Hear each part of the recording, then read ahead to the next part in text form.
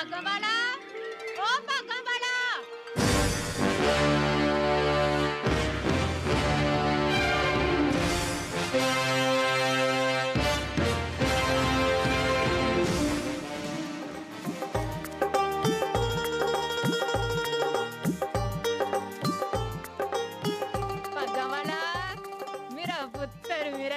आजा दादी माँ मेरा नाम तो भगत सिंह है ना? मेरा तो तू पागा वाला है। जिस दिन तेरी पहली किलकारियाँ हमारे घर में गूंजी थी मेरे पुत्रों की पेड़ियाँ खुल गई थी वो जेल से बाहर आ गए थे।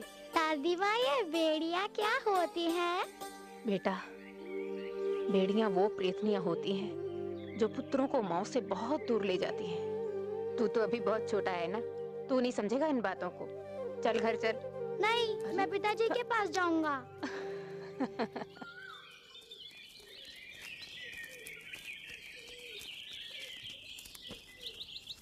पिताजी मैंने भी रोटी खानी है मुझे भी दीजिए हाँ बेटा पहले सबको देंगे फिर आपको देंगे हाँ हाँ जी ए लो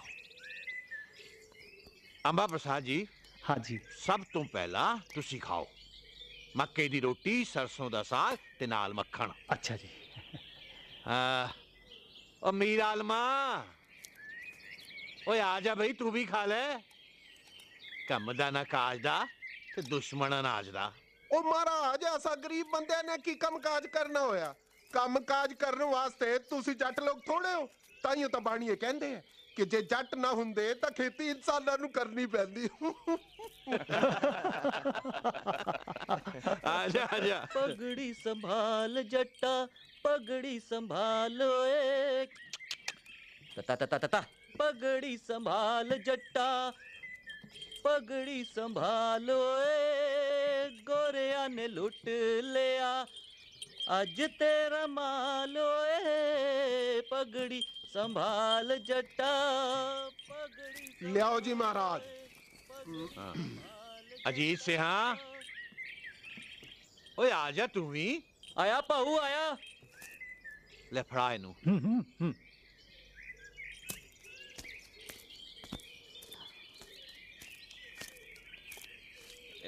ਅਜੀਤ ਸਿੰਘ ਤੈਨੂੰ ਲੱਗਦਾ ਭੁੱਖ ਨਹੀਂ ਲੱਗੀ पुख्ता पाऊ बहुत लगी सी मैंने सोचा पहले मीर आलम का पेट भर जाए ਚੱਲ हाँ? ਚਾਚੇ ਨੂੰ ਖਾ। ਧਿਆਨ ਨਾਲ ਹਾਂ ਸ਼ਾਬਾਸ਼ आजा पुत्र आजा आजा बह जा आह।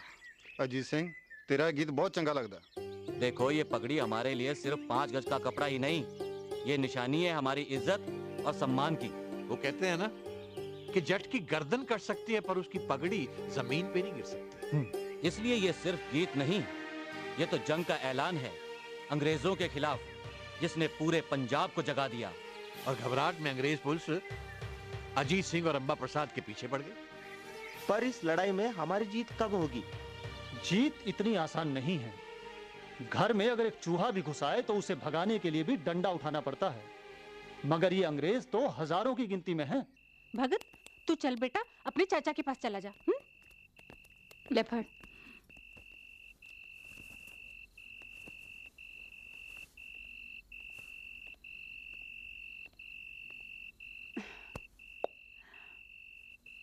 ले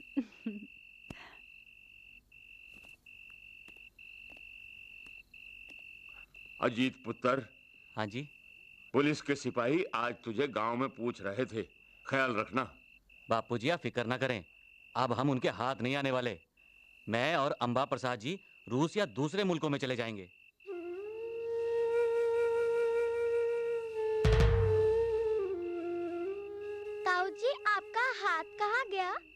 बेटा पिछले जन्म में अंग्रेज़ों से लड़ते लड़ते मेरा हाथ कट गया था। इस जन्म में मैं एक हाथ लेकर ही पैदा हो गया।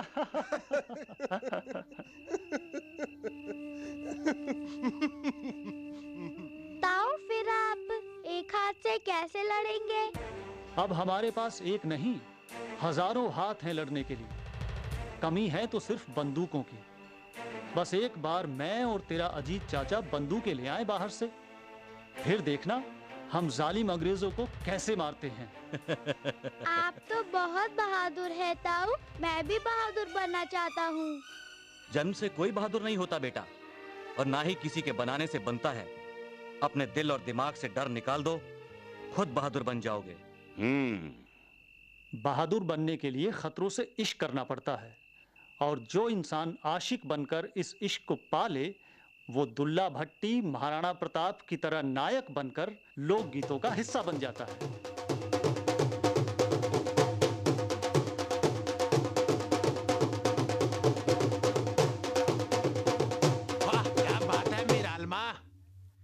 आशिकों के आँगन में पड़ रही धमा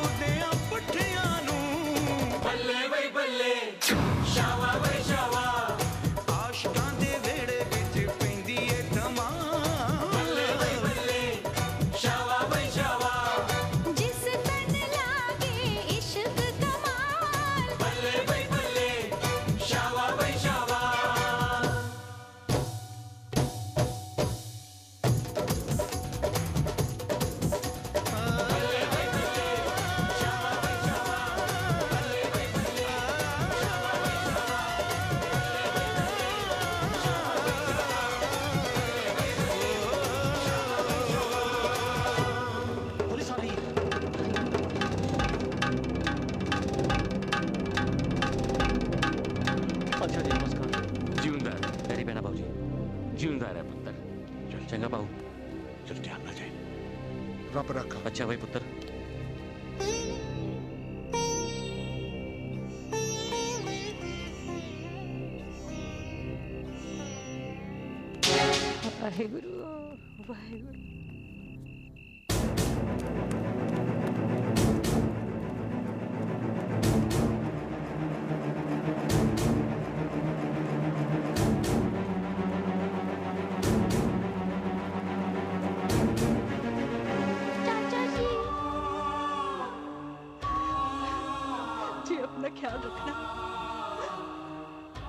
अजीत सिंह जल्दी करो।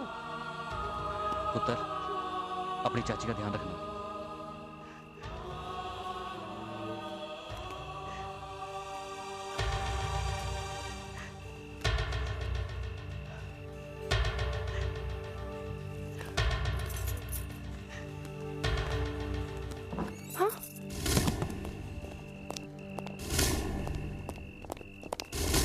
अजीत सिंह और अंबा प्रसाद कहीं भागना ना पाए।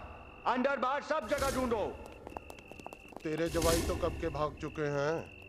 क्या बोला तुम? आ, कुछ नहीं सरकार। ऐसे गरीब बंदे की बोल सकते हैं।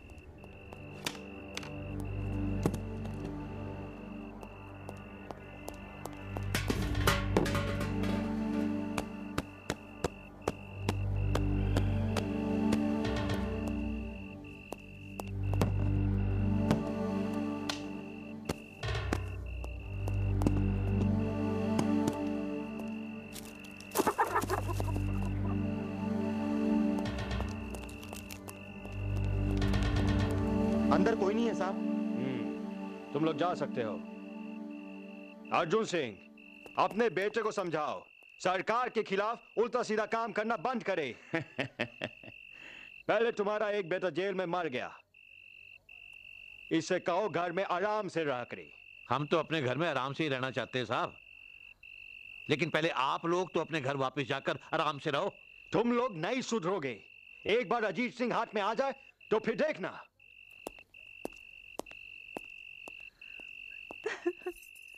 चाची, ये पुलिस वाले चाचा जी को क्यों ढूंढ रहे हैं? बेटा, गोरों ने हमें गुलाम बना के हमारी ज़िंदगी के रंग तो छीन ही लिए हैं। अब ये चाहते हैं कि पंजाबरों के सुहाग छीनकर उनकी चुनरी के रंग भी छीन ले। और ये चाहते हैं कि हिंदुस्तानी माए शेर जमने बंद कर दे। तू रो मत चाची मैं भगाऊँगा इन अंग्रेज़ों को।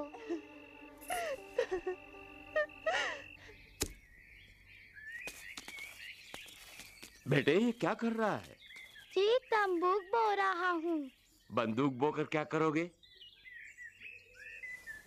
जी अंग्रेज़ों को भगाऊँगा। नहीं बेटे ये अभी उम्र तेरी बंदूक उठाने की नहीं। पढ़ने की है। पढ़ेगा तभी तो अंग्रेज़ों को मात देगा। दादाजी आपके पास तो सब धर्मों की किताबें हैं। अगर ये आपस में लड़ पड़ी तो आपके कमरे में तो तोड़फोड़ हो जाएगी। नहीं बेटे ये कभी नहीं लड़ेंगी। बेटे लड़ते तो वो लोग हैं जो इनके आगे सिर्फ़ माथा रगड़ते हैं। पढ़ते नहीं। दादाजी फिर ये ग्रंथी पुजारी और काजी क्यों लड़ते हैं, जबकि वो इन्हें सुबह शाम पढ़ते हैं? बेटा, वो इनको पढ़ते नहीं, वो बेचते हैं, वो धर्म के दलाल हैं। उनको पता है जैसे जैसे नफरत के बीज बोएँगे, वैसे ही उनका धंधा जोरों से चलेगा। बस बेटे, तुम पढ़ते जाओ। जैसे जैसे तुम्हारे ज्ञान का भंडार बढ़ेगा तुम सब समझ जाओगे। कुछ ही दिनों में तुम्हारे पिताजी आएँगे और तुम्हें आगे पढ़ने के लिए लाहौर ले जाएँगे।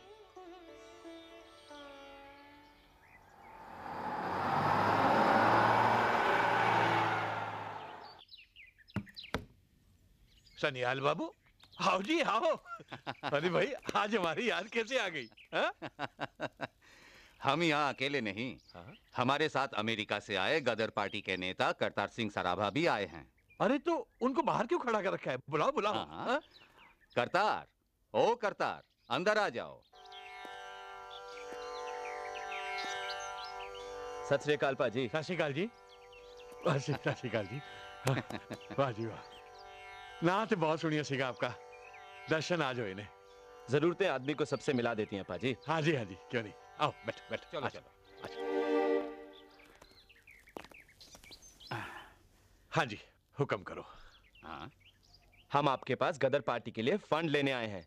धन भाग साडे जो इस यज्ञ में हमारा हिस्सा भी पड़ेगा। आप एक बार गांधी जी को मिल लेते वो आपकी और भी मदद कर सकते हैं। वो तो हमें अंग्रेज़ी फौज में भर्ती करवा देंगे। अहिंसावादी नेता ये सोचते हैं भाई अंग्रेज़ी साम्राज्य को बचाने के लिए हमारे जितने लोग मरे उसके बदले अंग्रेज़ हमें आज़ादी दे देंगे। आजा पुत्र आजा। मेरा पुत्र है जी भगत सिंह। सराबा साहब अमेरिका से आए हैं हैं? सन्याल साहब को तो जानता ही है हैं? सत श्री जी। सत श्री सत श्री अकाल हाँ, जी जीते रहो बेटा अच्छा जी आप लोग जरा बात करो मैं पैसे लेके आता हूँ। अच्छा।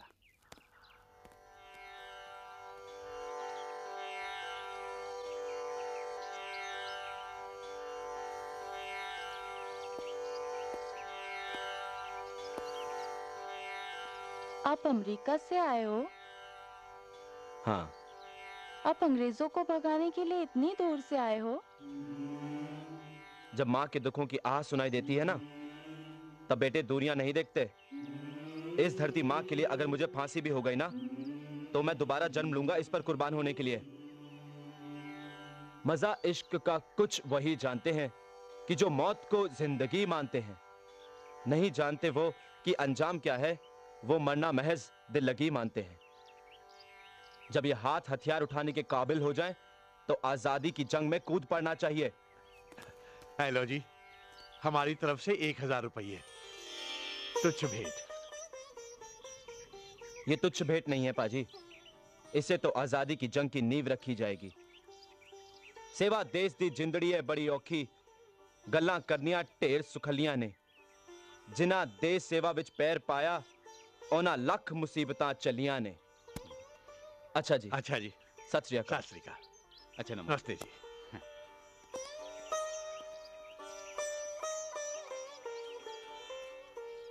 पिताजी करतार सिंह जी बहुत ही बहादुर हैं हाँ पुत्र जब माँ दुश्मनों की कैद में हो ना तो बेटों को बहादुर बनना ही पड़ता है मैं भी भारत माँ का बेटा हूँ पिताजी मुझे भी अंग्रेजों से लड़ना चाहिए हाँ पता तू लड़ेगा, ज़रूर लड़ेगा।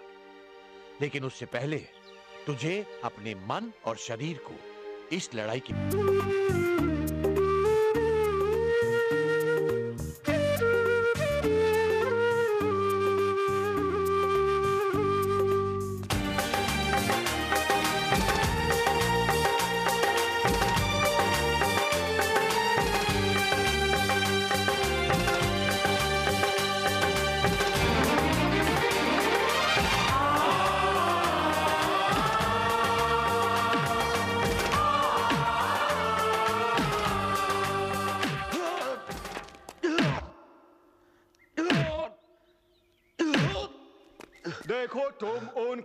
क्रांतिकारियों का नाम बता दो, जो तुम्हारे पास आकर ठहरता है। तुम मुसलमान लोग हमेशा हिंदुओं का दुश्मन और ब्रिटिश गवर्नमेंट का दोस्त हो। हम मुसलमान और हिंदू लोग सदियों से एक साथ इस धरती पर रह रहे हैं। तुम साले गोरे लोग अपने फ़ायदे के लिए हमारे पाक दिलों में जहर घोल रहे हो। एक सच्चा मुसलमान, सच्चा हिंदू और सच्चा सिख कभी तुम्हारा दोस्त नहीं हो सकता। एक सच्चा मुसलमान जहाँ जन्म लेता है उसी पवित्र धरती की गोद में उसे पनाह मिलती है। उसी धरती में उसका खुदा है। तुम चाहे कुछ भी भौंक लो, मैं तुम्हें कुछ नहीं बताऊँगा। किन लोगों के लिए तुम जान गंवा रहे हो? इन लोगों के लिए? ये सब लोग खड़े तमाशा देखेंगे। ये सब के सब यहाँ पर हिजरे है, हिजरे। यू कवर छोड़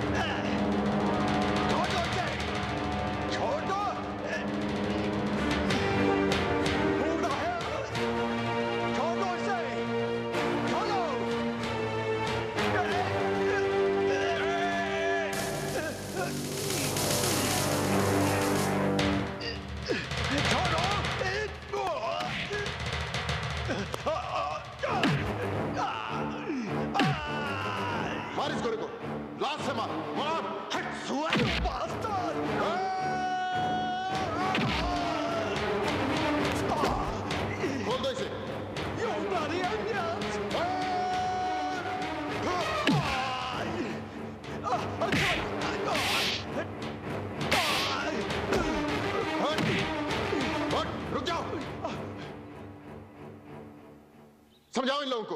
No, no. जिन्हें अपनी ताकत समझ रहे हैं अब वो मेरे हाथ में है। चल पीछे। Go, go. और तुम लोग ये अंग्रेज़ इतनी देर से तुम लोगों का हिजड़ा बोल रहा है। तुम्हारे एक भाई पर इतना जुल्म कर रहा है। और तुम चुपचाप खड़े देख रहे हो? शर्म आनी चाहिए तुम लोगों को। गीता में लिखा है कि जुल्म करना पाप है। तो जुल्म सहना उससे बड़ा पाप। और मैं कहता हूँ कि जुल्म होते हुए देखना सबसे बड़ा पाप है। तुम लोग इससे डर रहे थे? क्या भीड़ में एक भी आदमी नहीं जो इसकी गोलियाँ अपने सीने में ले सके?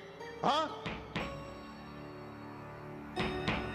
ठीक है मैं इसकी गोलियाँ अपने सीने में लेता हूँ और उसके बाद तुम इस गोरे से निपट लेना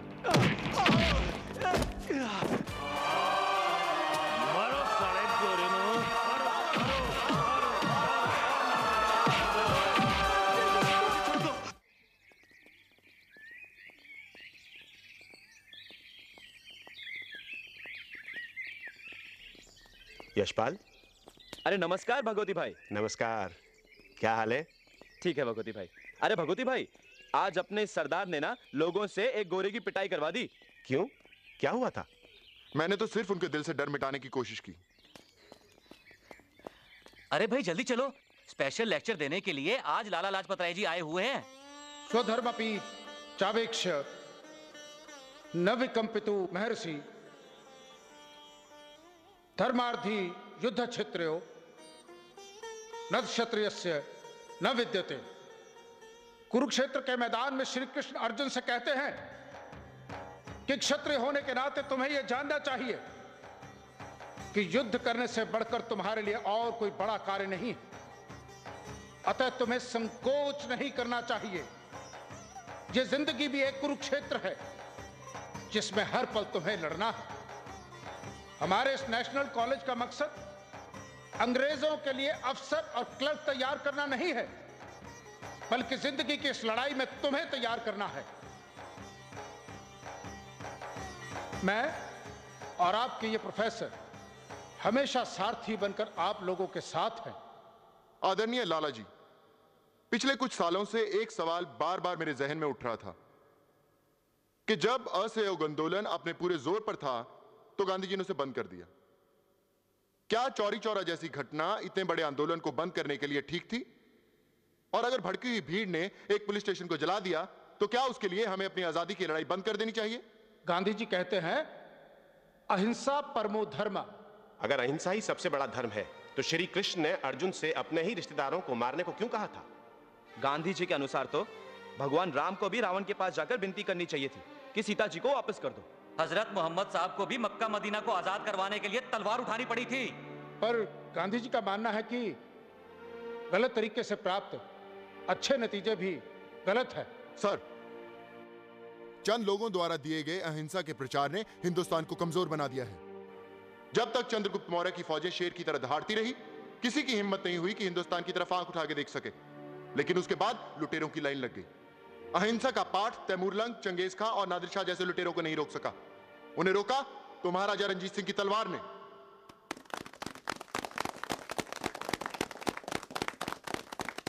स्टूडेंट्स अहिंसा और हिंसा बहस का एक बहुत बड़ा मुद्दा है जिस पर बहस कभी खत्म नहीं हो सकती। बहस का मुद्दा ही गलत हो तो बहस खत्म कैसे होगी? गांधी जी सिर्फ़ सपनों की दुनिया में जीने वाले फकीर हैं। रघुपति राघव राजा राम रटने से, मंदिरों में घंटियाँ बजाने से, गुरुद्वारों में अरदास करने से, या मस्जिदों में अल्लाह अकबर कहने से हमें कभी आज़ादी नहीं मिलेगी। उसके लिए हमें बल की ज़रूरत है। विचार का बल, तर्क का बल, संगठन का बल।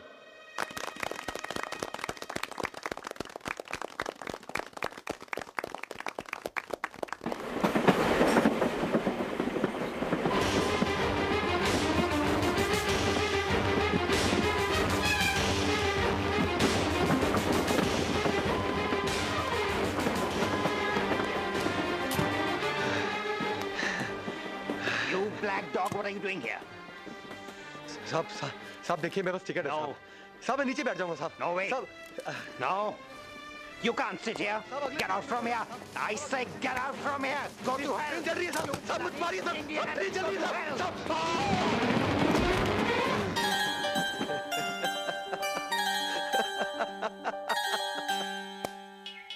कोडी कोडी कोडी कोडी कोडी कोडी कोडी कोडी कोडी कोडी कोडी कोडी कोडी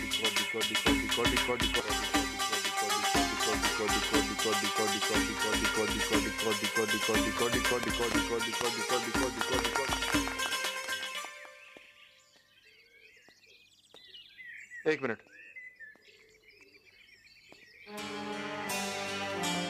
अरे क्या हुआ सुखदेव? तू जख्मी कैसे हो गया भाई? एक फिलॉसफी आजमा कर देख रहा था Bhagat. Philosophy yes philosophy Amritsar से वापस आते जब मैं ट्रेन में चढ़ा तो डिब्बे में अंग्रेज़ सिपाही थे। कहने लगे नीचे उतरो तुम ब्लैक डॉग। मैंने बहुत समझाने की कोशिश की। पर वो कहाँ समझने वाले थे? फिर? फिर क्या? मैं अहिंसावादी और वो हिंसावादी। लगे मुझे पीटने और चलती ट्रेन से बाहर फेंक दिया। तो फिर क्या नतीजा निकाला तूने अपनी फिलॉसफी का? अहिंसा की इस फिलॉसफी से अगर एक सीट नहीं मिल सकती तो आज़ादी क्या खाक मिलेगी?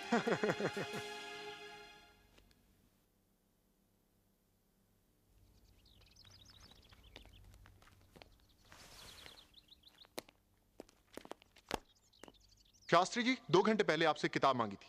क्या हुआ? आई एम सॉरी भाई कौन सी किताब?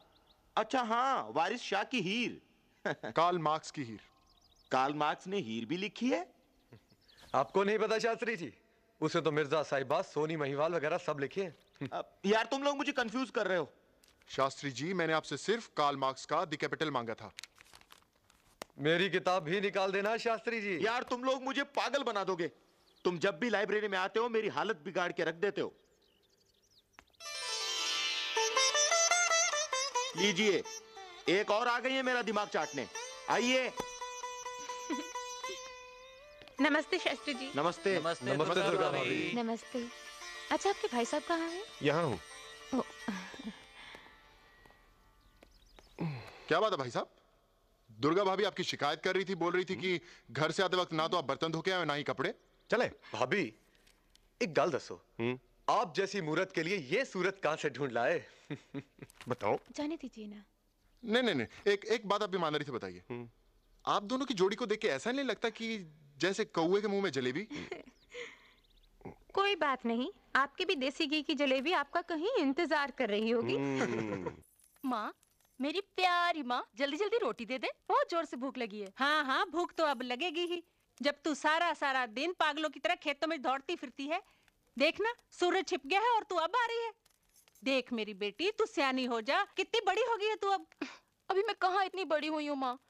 और फिर जब तक माँ की ममता का साया सर पर हो बच्चे कभी बड़े नहीं होते।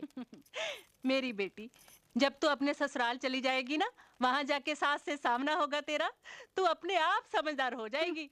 अब ना तेरा भाई तेरे लिए जल्दी ही लड़का ढूंढ लेगा।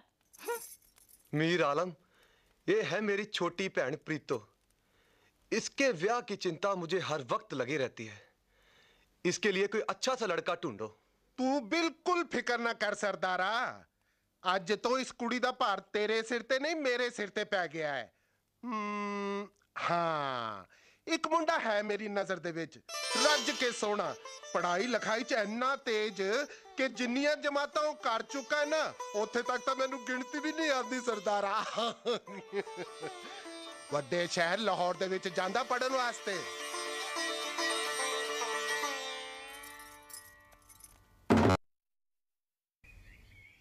हमारे सामने सबसे बड़ी समस्या यह है कि हमारे देश के लोग इतने जागरूक नहीं हुए कि वो आजादी को समझ सकें हमें सबसे पहले उन्हें उनकी नींद से जगाना होगा।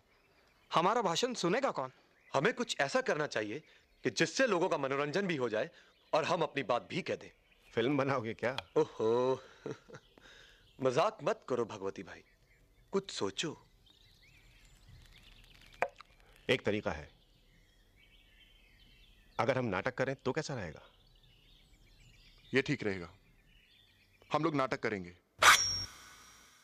मैं महाराणा प्रताप यह प्रतिज्ञा करता हूँ कि मैं अपने सभी शाही आराम छोड़ दूँगा और इन दुश्मनों को इस देश से निकालने के लिए अपनी पूरी ताकत लगा दूँगा। मैं अपने राज्य के लिए नहीं, बल्कि अपनी मातृभूमि के लिए लड़ूँगा। मुझे कोई गम नहीं होगा अगर इस जंग के मैदान में लड़ते लड़ते मैं शहीद भी हो गया, क्योंकि मुझे मालूम है कि मेरे खून के हर कतरे में से हज़ारों महाराणा प्रताप पैदा होंगे। और उन हज़ारों के खून में से लाखों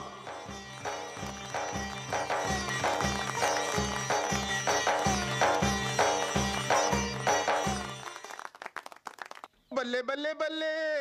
ये तो छोटे सरदार जी आए बैठे हैं। ओ महाराज इन्हों वधिया वधिया अफसरिया बख्शे गुरु महाराज। बह जा बह जा मीर आलम बह जा बोलता ही चला जा रहा है। महाराज ਸਾਡੇ ਕਿਹੜੇ ਹਾਲ ਚੱਲਦੇ ਐ ਸਾਡੀ ਤਾਂ ਬਸ ਜ਼ਬਾਨ ਚੱਲਦੀ ਐ ਤਾਂ ਹੀ ਉਹ ਦਾਲ ਫੁਲਕਾ ਚੱਲਦਾ ਐ ਸਾਡਾ आ मीर आलम रोटी खा ले ਉਹ ਤਾਂ ਸਰਦਾਰ ਜੀ ਭੁੱਖ ਨਹੀਂ ਹੈ ਪਰ ਮੈਂ ਤੁਹਾਡਾ ਅੱਖਾਂ ਨਹੀਂ ਮੋੜ ਸਕਦਾ ਦੇਖ ਲਓ ਸਰਦਾਰ ਜੀ ਦਾਣੇ ਦਾਣੇ ਤੇ ਲਿਖਿਆ ਖਾਣ ਵਾਲੇ ਦਾ ਨਾਂ पर मीर आलम तू तो उनमें से है जो दूसरों के दाने पे जबरदस्ती अपना नाम लिखता जा रहा है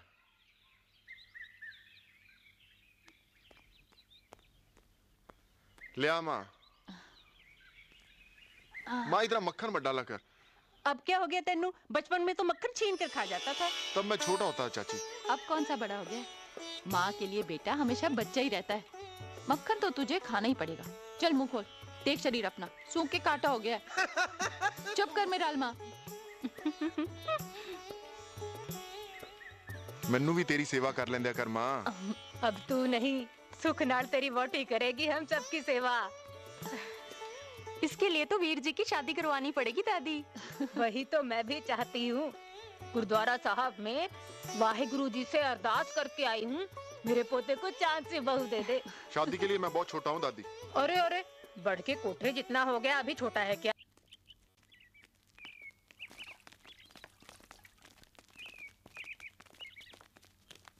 ये लीजिए सरदार जी। भगत सिंह आया था और आपके लिए खत छोड़कर गया है।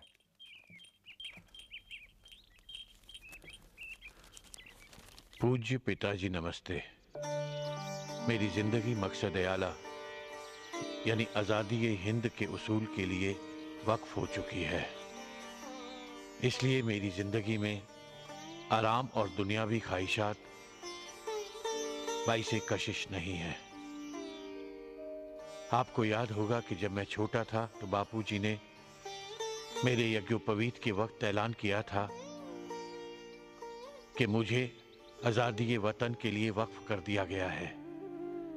लिहाजा मैं उस वक्त की प्रतिज्ञा पूरी कर रहा हूँ। उम्मीद है आप मुझे माफ़ फरमाएँगे।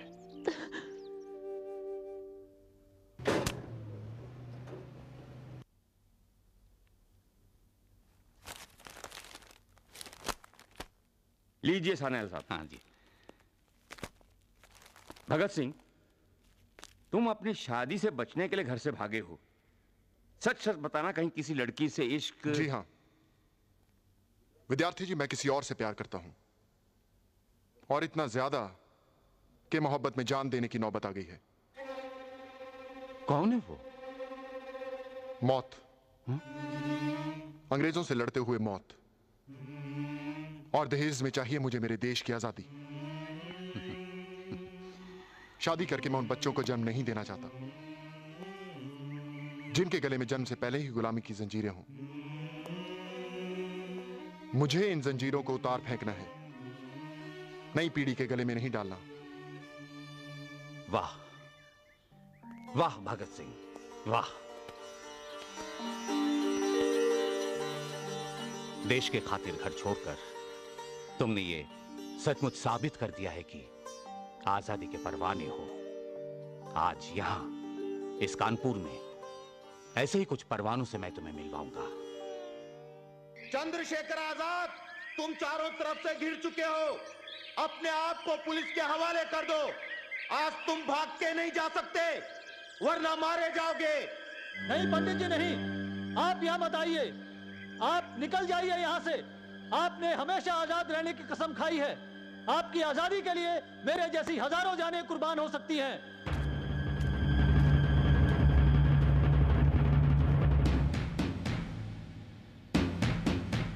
नहीं, पंडित जी, नहीं। आपने मेरे लिए अपनी जान जोखिम में डालकर अच्छा नहीं किया। नहीं, हरीलाल। मेरे साथियों की जानें मेरी आज़ादी के लिए नहीं है, बल्कि इस धरती माँ की आज़ादी के लिए हैं। अगर मैंने आज़ाद रहने की कसम खाई है तो मुझे अपने साथियों की आज़ादी भी उतनी ही प्यारी है। हा! और यह साला क्या हिम्मत करेगा कि आज़ाद की आज़ादी को खत्म करे? ये तो खुद साला अंग्रेज़ों का पिट्ठू है। कुत्ता है। ए, साला मुझको कुत्ता बोलता है तू? तू मुझको कुत्ता बोलता है बोला। बंदे मातरम।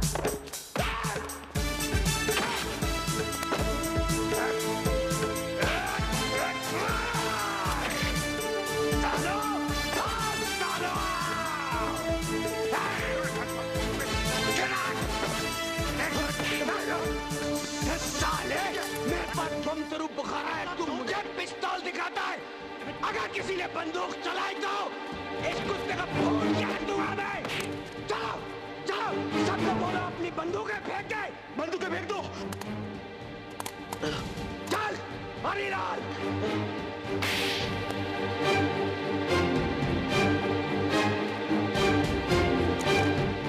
बंदूक नीचे बैठ नीचे बैठ छोड़ दे आज़ाद मुझे छोड़ दो। अंग्रेज़ों के पिट्ठू आज़ाद की आज़ादी को खत्म करेगा। अगर तू हिंदुस्तानी ना होता तो मैं तुझे यही खत्म कर देता। चल साले दीवार की तरफ़ मुँह करके खड़ा होना चल साले चल सीढ़ी बन सीढ़ी बन और बोल बंदे मातरम! वंदे मातरम। बंदे मातरम!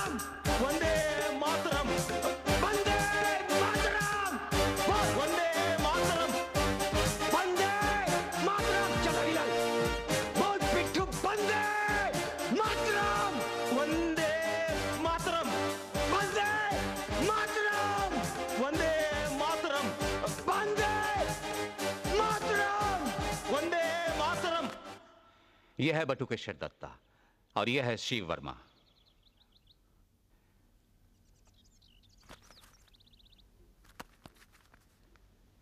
विद्रोही। ये काजी नजरुल इस्लाम ने लिखा है। जानते हो भगत? दत्ता आम बंगालियों की तरह किताबें साथ रखकर सोता है।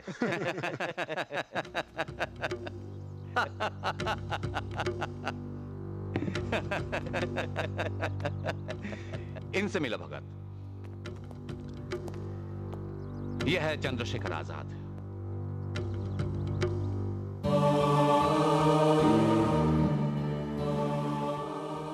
जानते हो भगत आज़ाद हमेशा रिवॉल्वर साथ रखकर सोता है। सानियाल भाई आप किसी भी ऐरे गहरे को ऐसे ही ग्रुप में शामिल कर लेते हैं। आप जानते हैं कि पुलिस के मुख मुखबिर चारों तरफ़ घूम रहे हैं। आज़ाद ये सब कहने से पहले शायद तुम भगत की आँखों में झाँक कर देखते कितनी आँख है उनमें ये उस परिवार में से है जिसने रहने दीजिए साना साहब। अगर किसी को आग में कूदना हो, उसके लिए यह ज़रूरी नहीं कि वो हाथ में गर्म कोयला पकड़कर दिखाए। देशभक्ति दलीलों से साबित नहीं की जाती। ये वो पौधा है जिसे खून से सींचा जाता है। और इस वक्त मेरे देश को मेरे खून की ज़रूरत है। चलता हूँ सानिल भाई। भगत सिंह तुम्हारे सीने में वो आग है जो एक दिन पूरे देश को रोशन कर देगी। जय हिंद। जय हिंद। माँ तू रो मत। वीर जी आएँगे ना तो मैं कहूँगी उनसे ब्याह करवा ले। पता है कितना शौक है मुझे घोड़ी गाने का? ना जाने तेरा वीर कौन सी कोड़ियाँ गवाएगा तुझसे। कुलतार भैया जी आगे। जा दरवाज़ा खोल के आ।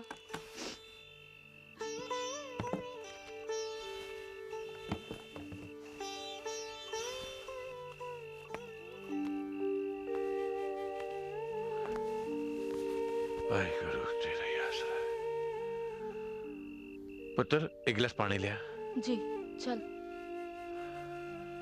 कुछ पता चला मेरे लाल का? कुछ पता नहीं चला। धक्के खा रहा हूँ उसको ढूँढने के वास्ते। लाहौर में सब जगह पता कर लिया। कल अमृतसर गया था। आज फिरोजपुर से उसके दोस्तों के पास से आ रहा हूँ। कुछ पता नहीं चला। उसके पास तो कुछ पैसे भी नहीं है। मेरा तो कलेजा मुँह को आ रहा ना जाने कहा भटक रहा होगा? कैसे दिन काट रहा होगा मेरा पुत्र? तरसी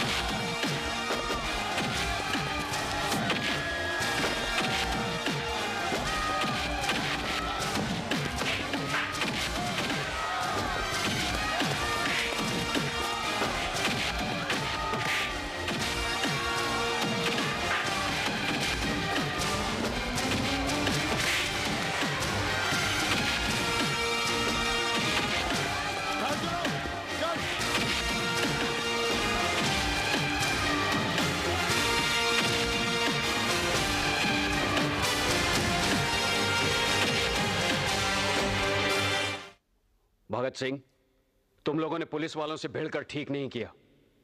ऐसी घटनाएँ हमें अपने मकसद से दूर ले जाती है। अभी क्या करे पंडित जी? ये जट बुद्धि कभी कभी अपना रंग दिखा देती है। और ऊपर से मिल गया ये पागल मराठा राजगुरु। आज़ाद भाऊ काय पण बोला। आज गोरो को पीट कर मज़ा बहुत आया। आज त्यांना माहित पडला असणार हम भी क्या चीज़ है। चलो छोड़ो इस बात को। आज मीटिंग इसलिए बुलाई गई है क्योंकि पार्टी के पास पैसों की बहुत कमी है। इसलिए एक एक्शन करने का प्लान बनाया है। इस काम में मेरे साथ राम प्रसाद बिस्मिल लाहिरी और अशफाकुल्ला रहेंगे और कुछ नए साथी। और हम? तुम लोग सब कानपुर छोड़ दो क्योंकि पुलिस तुम्हें ढूंढ रही है। दत्त और शिव कलकत्ता चले जाएँ। भगत तुम राजगुरु को लेकर पंजाब चले जाओ। बेबी। मुझे मेरा भागा वाला ला दो। वही मेरी दवाई है। बेबे मैं उसे ढूँढने की पूरी कोशिश कर रहा हूँ। पता चला था कि शायद कानपुर में हाँ। है। तेरी बीमारी की चिट्ठी भी भेजी है। पता नहीं विधाता मेरे परिवार के। टुकड़े टुकड़े करने को क्यों कमर बांधे बैठा है? एक बेटा स्वर्ण सिंह को जेले खा गई। और दूसरा अजीत सिंह पता नहीं परदेश में कहाँ कहाँ धक्के खा रहा है। अब ये पोता भी उसी रास्ते पर चल पड़ा। कृष्णु की बेबे धीरज रख। ये दुख तकलीफ़ अकेले हम पर नहीं आए। शुक्र कर रब का कि तेरा परिवार अच्छी राह पर चल रहा है। चोरी चकारी करते जेल में नहीं गए तेरे बच्चे। तो कैसी लगी अपनी पाँच दरियाओं की धरती राजगुरु? बहुत अच्छा। वीर जी? सत श्री अकाल वीर जी। हमरो कैसी है तू? चंगी सत श्री अकाल छोटे सरदार जी। सत मीर आलम कैसा तू? कृपा जी। क्या बात है मीर आलम? घर कोई दिखाई नहीं दे रहा। वो बड़ी सरदारनी जी बीमार हैं सारे अंदर हैं।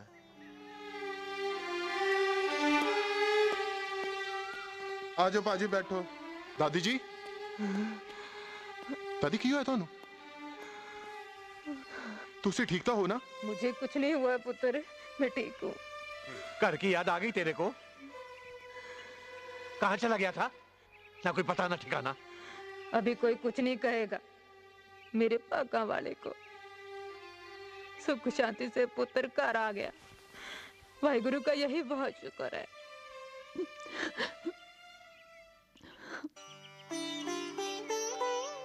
क्यों? सुन रहे हो वीर जी? क्या? यही कि बहनों को कितना चाह होता है भाई के ब्याह का। हमारा भी तो दिल चाहता है कि हमारे घर एक सुंदर सी प्यारी सी भाभी आए और हम भी शादी ब्याह के गीत गाएँ। अमरो पूरी दुनिया देखेगी मेरी दुल्हन को। तू देखना जिस दिन मेरी शादी होगी ना तेरे साथ पूरा हिंदुस्तान गाएगा मेरे ब्याह दे गीत।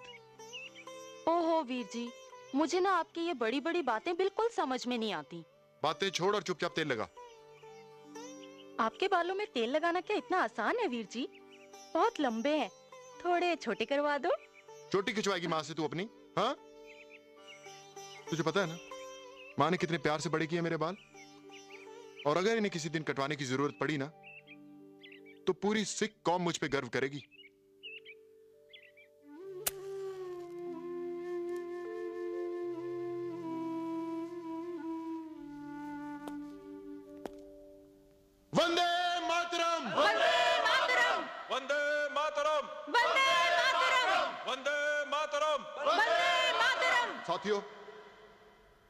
हमारे देश को आज़ाद कराने के लिए।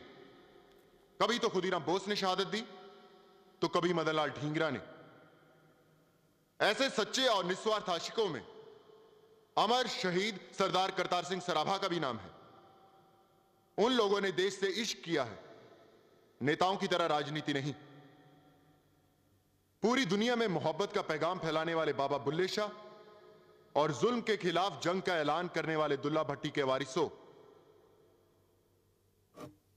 ये जलियांवाला बाग की वो पवित्र मिट्टी है, जिसमें हमारे देश के हज़ारों शहीदों का खून मिला हुआ है।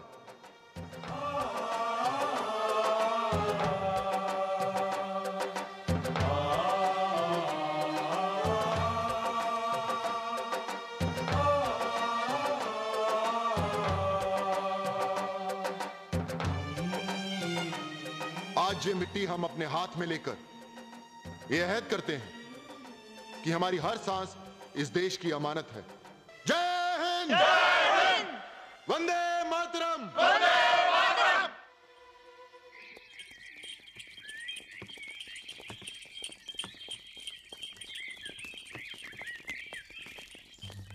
सबके सब समझ गए ना? जाओ। साहब? क्या बात है? अगर मैं काकोरी कांड का कुछ सुराग आपको दूँ तो मुझे क्या मिलेगा साहब? तुम्हें? तुम्हारी गद्दारी को सरदारी में बदल दूँगा। तो बस कल अपने आदमी मेरे साथ भेज देना लाइब्रेरी के पास। शाबाश जयचंद की औलाद।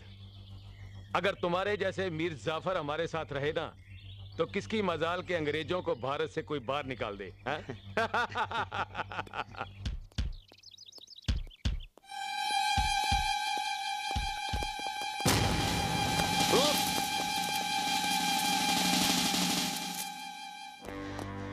काकोरी कांड विच तेरे नाल कौन कौन शामिल? दस।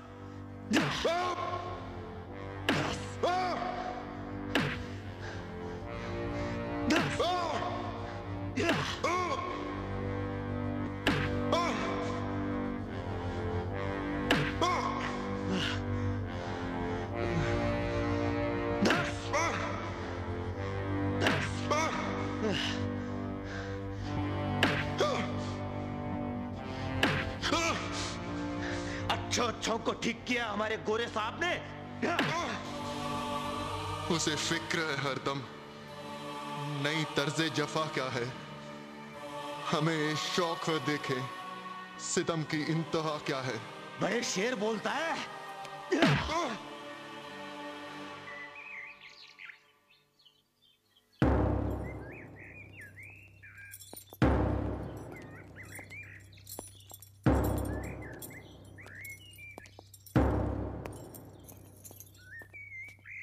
Sit down.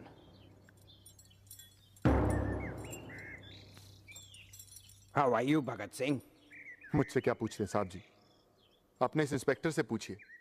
रात भर ये देखता रहा कि मेरी हड्डियों में ज़्यादा जान है या इसके डंडे में। दशहरे में एक भरे पूरे इलाके में तुमको बम फेंकने के जुर्म में गिरफ़्तार किया गया है। मुझे मालूम है कि तुम बेकसूर हो।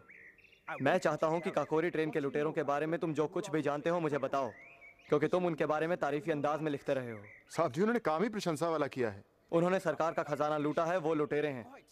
लुटेरे हम लोग नहीं तुम लोग हो। तुम लोग लूट रहे हो हमारे देश को। तुम समझते हो हम लुटेरे हैं? तुम्हें बता दूँ कि हमने इस देश को सुधारा है और इसे तरक्की की राह दिखाई है। हमने तुम्हें रेलवेज और तालीम दी है। तुम्हारे अनपढ़ देहातियों को हमने ही पढ़ाया लिखाया है। रेलवे लाइंस भी आप लोगों ने हमें लूटने के लिए बिछाई हैं ताकि यहाँ का सारा कच्चा माल आप बंबई ले जा सके और वहाँ से उसे इंग्लैंड भेज सके। आपका एजुकेशन सिस्टम सिर्फ़ ऐसे पुर्जे तैयार करता है जो आपके राज को चला सके। आप लोगों ने हम हिंदुस्तानियों को धोखेबाजी मकारी और रिश्वतखोरी की दलदल में धकेल दिया है।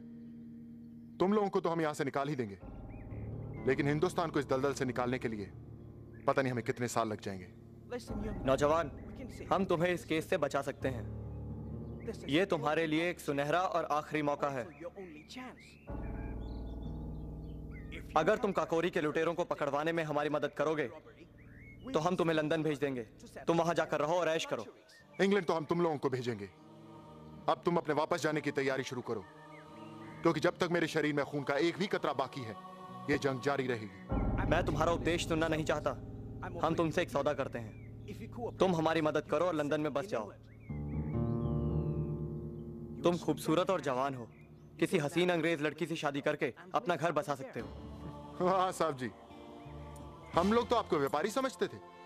जो लोग हमारे देश में शीशा कंगी बेचने आए और उस पर कब्जा करके बैठ गए। मगर आप लोग तो दलाल हैं। जो लोग हिंदुस्तान का तख्त बजाने के लिए अपनी बहु बेटियाँ हमें दे रहे हैं। I must tell you you are bloody pimp तुम पागल हिंदुस्तानी पुलिस की लाठी की बोली ही समझते हो। ऑफिसर इसके चेहरे की मुस्कुराहट छीन लो।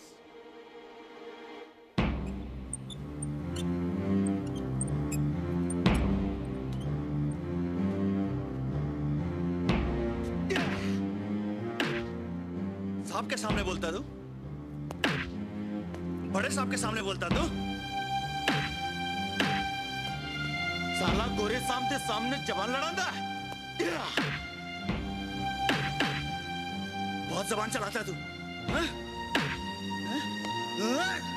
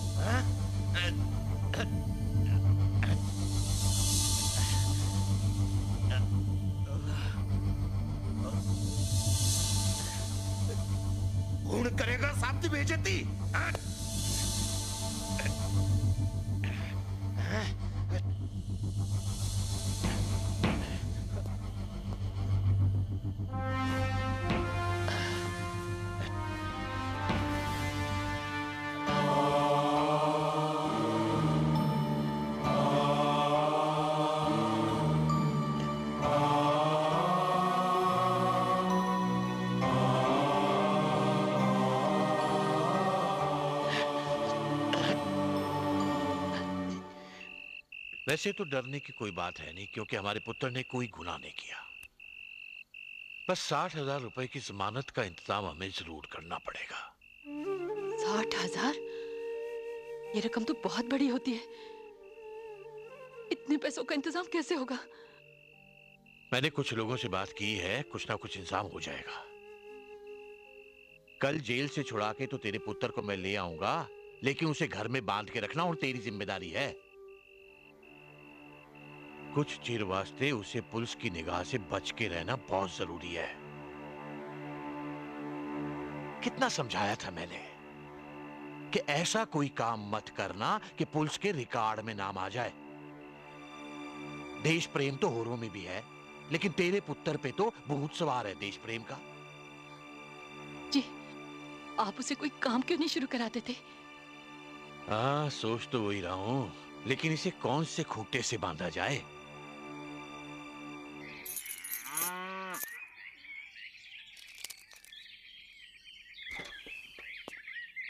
दूध के लिए शुक्रिया मासी। भगत सिंह हाँ, ये मज तेरी मासी के में हो गई। बचपन में हम माँ का दूध पीते थे और बड़े होके हमें इनके दूध से ताकत मिलती है। इस रिश्ते से ये हमारी मासी हुई ना। हम्म। और वैसे भी इन्हीं का दूध पी पी कर तो मेरी सारी पुलिस की चोटें ठीक हुई। ओए हूँ ठीक हो गया है तो फिर अंग्रेजा नाल पंगे लेगा। ऐसे ले तो सरदार जी ने तेन इस काम च फसाया। पंछी परदेसी और आशिक किसी के रोके नहीं रुकते मीरालम। आलम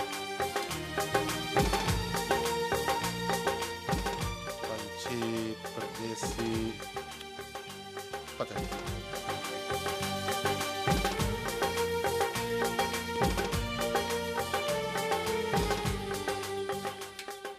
शास्त्री जी आ गया आपका चहेता। सत श्रीकाल शास्त्री जी। हाँ देखना कर लो अब शास्त्री जी कहेंगे पगस्या थोड़ी जलेबी खा ले। भूख तो मुझे नहीं है। पर जट ते जलेबी का पुराना रिश्ता है। जब शास्त्री जी इतना कह ही रहे हैं तो थोड़ी सी जलेबी खा ही लेता हूँ। मैंने तुम्हें खाने के लिए कब कहा भगत? कहना कौन सा ज़रूरी है शास्त्री जी? आपका चेहरा और आपकी आँखें दोनों ही निमंत्रण दे रहे हैं। और मिलजुल कर खाने से प्यार बढ़ता है शास्त्री जी। और मेरी जेब खाली होती है। पैसा कौन सा साथ जाने वाला है शास्त्री जी? खाली आता है बंदिया खाली तुर जाना क्यों शास्त्री जी? शास्त्री जी सियाने कहते हैं पहले पेट पूजा फिर काम दूजा। क्या हाल है शास्त्री जी? ये लीजिए जय गोपाल और यशपाल भी आ गए। अब करेंगे कुछ ज्ञान की बातें। शास्त्री जी आप मेरी किताबें नहीं लाए? लाला जी ने तुम्हें किताबें देने से सख्त मना किया है भगत। अब तुम उनके कामों को बड़ा क्रिटिसाइज करते रहते हो ना? तुमसे सख्त नाराज़ है वो। लाला जी आजकल एक सरमाएदार के कहने पर हरिजनों को हिंदू धर्म में रखने का काम कर रहे हैं। इसका इलाज नौजवान भारत सभा की विचारधारा है। वंदे मातरम। वंदे मातरम! वंदे मातरम। वंदे मातरम! हम सभी लोग यहाँ देश के कोने कोने से इकट्ठे हुए हैं। हम सभी अपने अपने प्रांतों में अंग्रेज़ों के खिलाफ जंग लड़ रहे हैं। लेकिन अब यह लड़ाई हमें मिलकर लड़नी होगी ताकि ब्रिटिश सरकार का जल्द से जल्द खात्मा हो सके। इसलिए हमें एक पार्टी बनानी होगी। एक पार्टी बनाने से क्या होगा? बिना पार्टी के हमें सरफिरों की टोली कहा जाता है। मिलकर लड़ने से हमारे छोटे छोटे एक्शन एक बड़ी जंग कहलाएँगे। कई बार पैसों की कमी के कारण हम लोगों को डकैती भी डालनी पड़ती है। पार्टी बनने के बाद पैसों की ये समस्या हमारी जनता पूरी करेगी। आज हम सब मिलकर हिंदुस्तान सोशलिस्ट रिपब्लिकन एसोसिएशन की स्थापना करते हैं। हमारे नेता होंगे चंद्रशेखर आज़ाद। और हमारे एक्शन विंग का नाम होगा हिंदुस्तान सोशलिस्ट रिपब्लिकन आर्मी। मंजूर है सबको? मंजूर है। हम अपने लोगों में आज़ादी दिलवाने के साथ साथ गरीबी और भूखमरी दूर करेंगे। हम लोगों की ज़िंदगी में क्रांति लाएँगे। और क्रांति का जन्म हमेशा बंदूक की नाली से होता है। अहिंसा से हमें कभी आज़ादी नहीं मिलेगी। चौक में कटोरा रखकर बैठने से सिर्फ़ भीख मिल सकती है आज़ादी नहीं। ब्रिटिश साम्राज्य को जड़ से उखाड़ फेंकने के लिए हमें वो रास्ता अपनाना पड़ेगा जो शिवाजी गुरु गोविंद सिंह और महाराजा राणा प्रताप ने अपनाया था। जय हिंद! जय हिंद जय हिंद मैं दिल्ली कलकत्ता और कानपुर सब जगह होकर आया हूँ। और कहीं से भी बम का इंतज़ाम नहीं हो सका। इस समय हमारे संगठन में पैसों की भारी कमी चल रही है। फिर अब क्या करना होगा? भगवती भाई भी तो यह नहीं है। मेरठ साजिश केस में उनको और उनके साथी कॉमरेड्स को पुलिस ढूंढ रही है। वो तब से अंडरग्राउंड है। लेकिन क्या बात है? तुम लोग इतना परेशान क्यों लगते हो? साइमन कमीशन लाहौर आ रहा है। साइमन कमीशन भारत भेजकर ब्रिटिश सरकार हिंदुस्तानियों को सिर्फ़ ये बताना चाहती है कि तुम गुलाम हो और सदियों तक गुलाम ही रहोगे। लाला जी साइमन कमीशन के खिलाफ प्रदर्शन करने का प्रोग्राम बना रहे हैं। क्या होगा ऐसे प्रदर्शनों से? Simon Commission go back Simon Commission go back करने से क्या कमीशन वापस चला जाएगा? लेकिन हम चुप भी तो नहीं बैठ सकते। पूरा देश इस समय इस कमीशन के खिलाफ प्रदर्शन कर रहा है। तो इस समय क्या पंजाब चुप बैठा रहेगा? हम सभी पार्टियाँ मिलकर लाला जी की लीडरशिप में प्रदर्शन करेंगे। भगत अब तू उसे अपना लीडर मान रहा है जिस पर तूने जातिवाद को बढ़ावा देने का आरोप लगाया था और उसने तो हमें रूस का दलाल तक कहा। यह हमारा आपस का मामला है। मतभेद होने से बाप और बेटे का रिश्ता खत्म नहीं हो जाता। लाला जी हमारे बुज़ुर्ग हैं। घर के बाहर जो भी लड़ाई लड़नी है हमें साथ में लड़नी है। साइमन कमीशन के खिलाफ जो भी नारा गूंजेगा, एक आवाज़ में गूंजेगा। Simon Commission! Simon Commission! Simon Commission!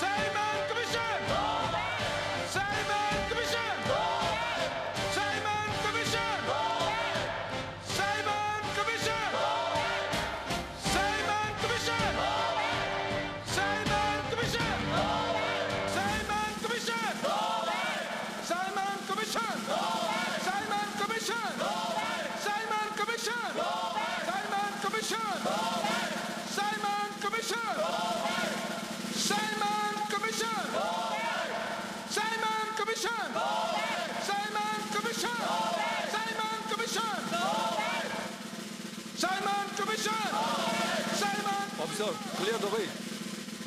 Simon Commission! Simon Commission! Simon Commission! Simon Commission! Commission! Simon Commission!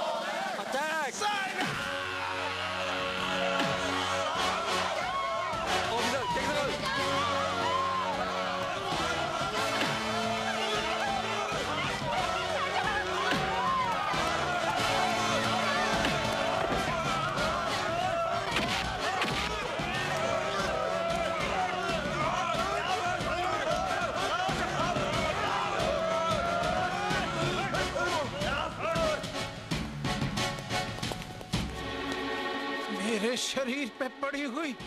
एक एक लाठी अंग्रेज़ी हुकूमत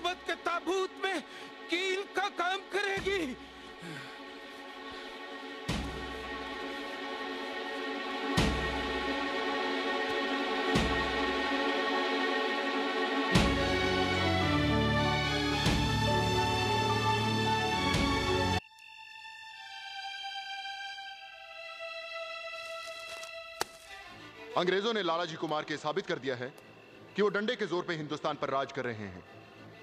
और गांधी जी अहिंसा से इन लोगों का हृदय परिवर्तन करवाना चाहते हैं। आज तक वो कितने डायरों और अडवायरों का हृदय परिवर्तन कर पाए हैं? आवाम के दिल में अब एक ही ख्वाहिश है कि बस कोई ना कोई किसी तरह इन हथियारों को सबक सिखा दे सदियों के संस्कार से जनी संयम और कायरता में फ़र्क बतला दे। टेट फॉर टैट क्या? ईंट का जवाब पत्थर से। वो एक मारेंगे तो हम दस मारेंगे। नहीं हम सिर्फ़ उन्हें मारेंगे जिनकी वजह से पंजाब केसरी लाला जी की मृत्यु हुई। हमारे देश की आन पर आँच आई है किसी की जान लेना हमारा मकसद नहीं है but everything is fair in love and war मतलब? देश प्रेम और ब्रिटानिया के खिलाफ हमारी जो जंग है वो बिल्कुल जायज़ है। एक अंग्रेज़ की मौत हज़ारों में डर पैदा कर देगी। किसी भी अंग्रेज़ अफसर को मारना इतना आसान नहीं है।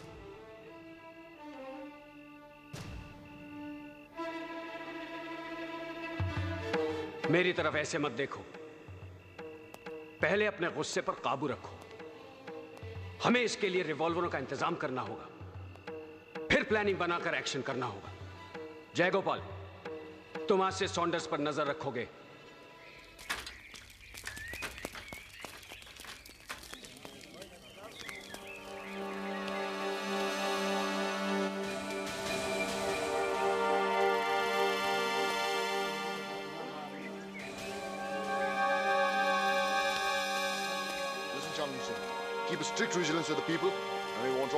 favor evening. Yes, sir.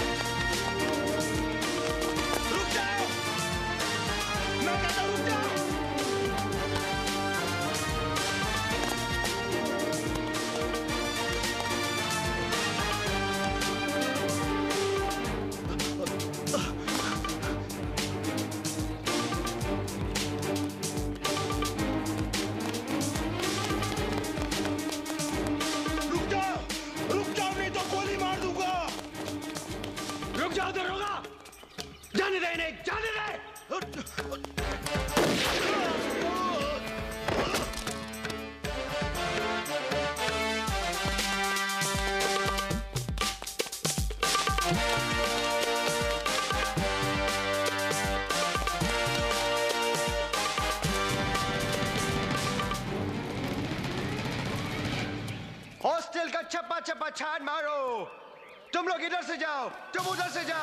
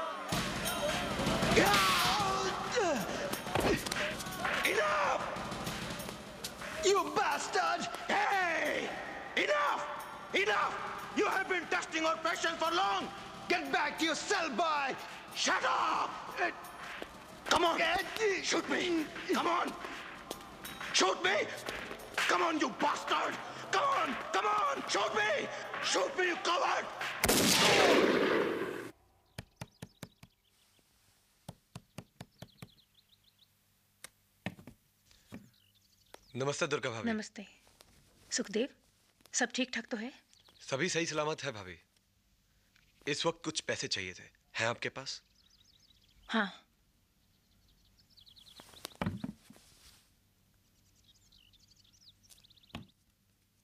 ये लो पाँच सौ रुपये तुम्हारे भाई साहब दे गए थे। शायद तुम लोगों को ज़रूरत पड़े।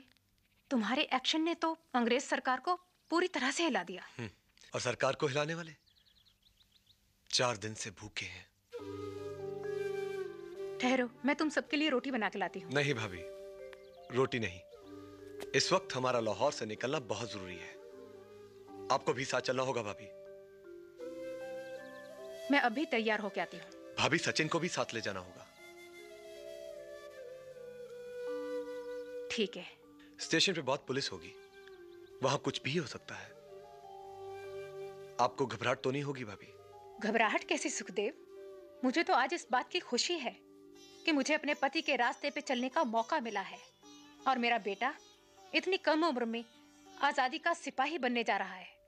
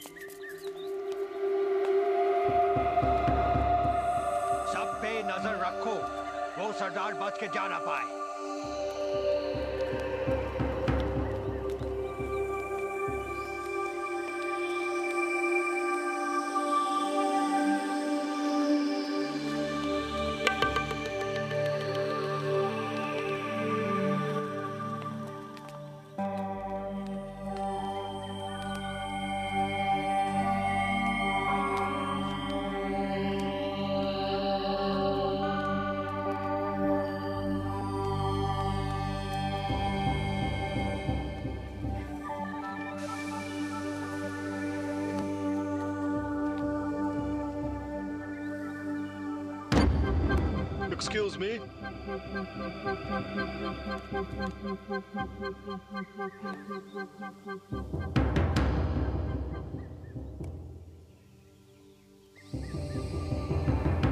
Thanks.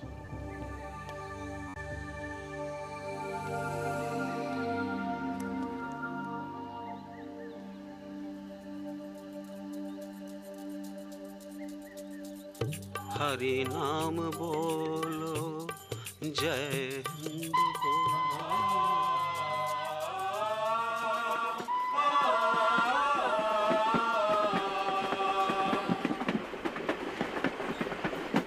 तो तुम्हारा यह कहना है कि कांग्रेस का यह फैसला कि डोमिनियन स्टेटस के लिए एक साल इंतज़ार किया जाए, क्या यह ठीक होगा? तुम्हें नहीं लगता है कि एक तरह का खालीपन आ जाएगा। बहता हुआ पानी रुक जाएगा। बहता हुआ पानी रुक जाए तो सड़ जाता है। हम्म। और आज़ादी की लड़ाई एक ऐसी गंगा है जो ना तो कभी रुकी है और ना ही कभी रुकेगी। हम्म।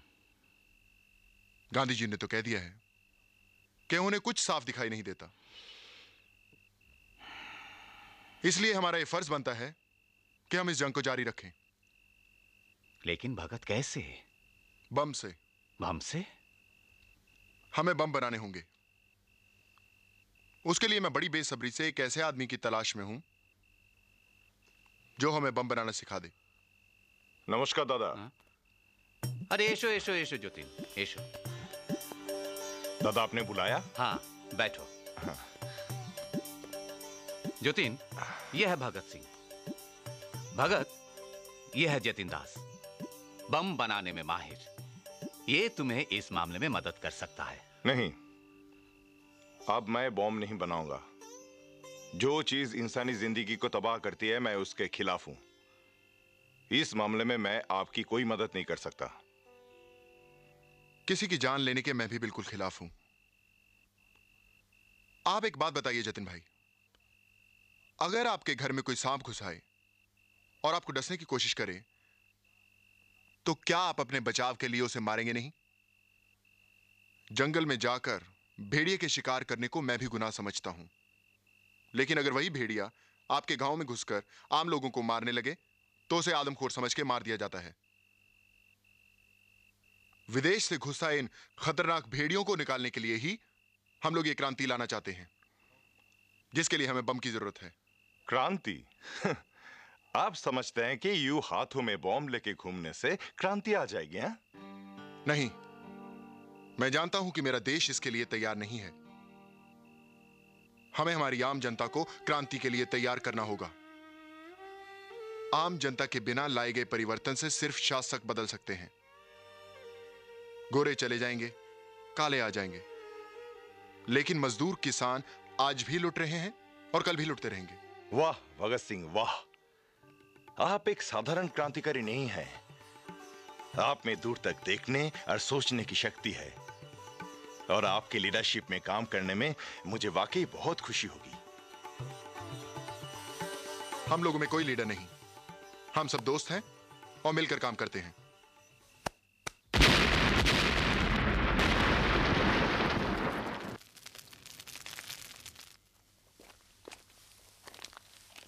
यार जतिन तूने कमाल कर दिया। देखना अब इस बम से हम साले गोरों को कैसा मारेंगे। अब जब भी हमें कोई एक्शन करना होगा हम इसी का इस्तेमाल करेंगे। नहीं। मुझे ऐसा बम नहीं चाहिए। लोगों की जान लेना हमारा काम नहीं है। मुझे ऐसा बम चाहिए जिससे मौत तो किसी की ना हो लेकिन उसके धमाके से सारी दुनिया हिल जाए।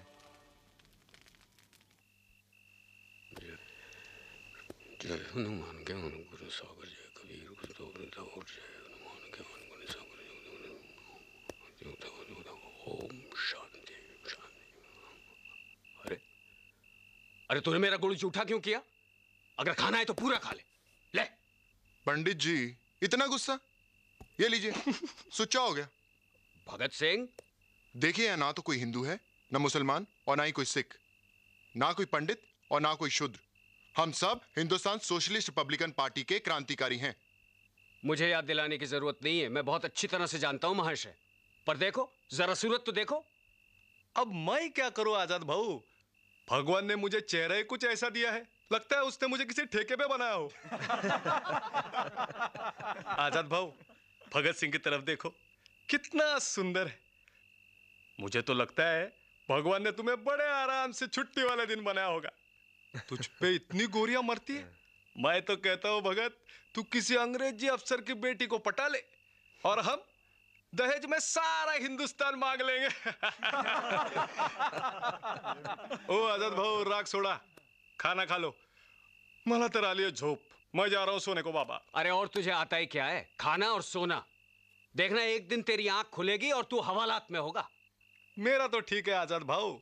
लेकिन ये बताओ आप कैसे पकड़े जाएँगे? कौन साला पकड़ेगा हमारे पंडित जी को?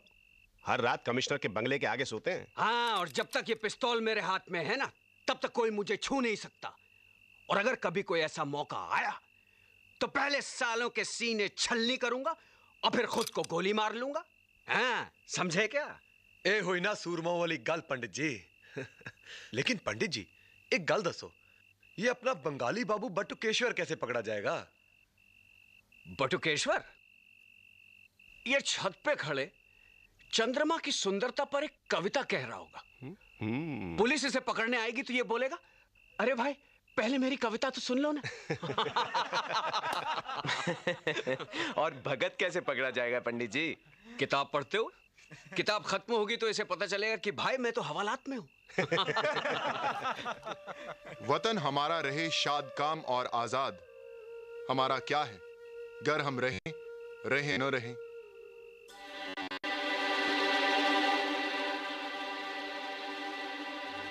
बंबई में मजदूरों के एक विरोध प्रदर्शन ने मिल मालिकों को झुकने के लिए मजबूर कर दिया है।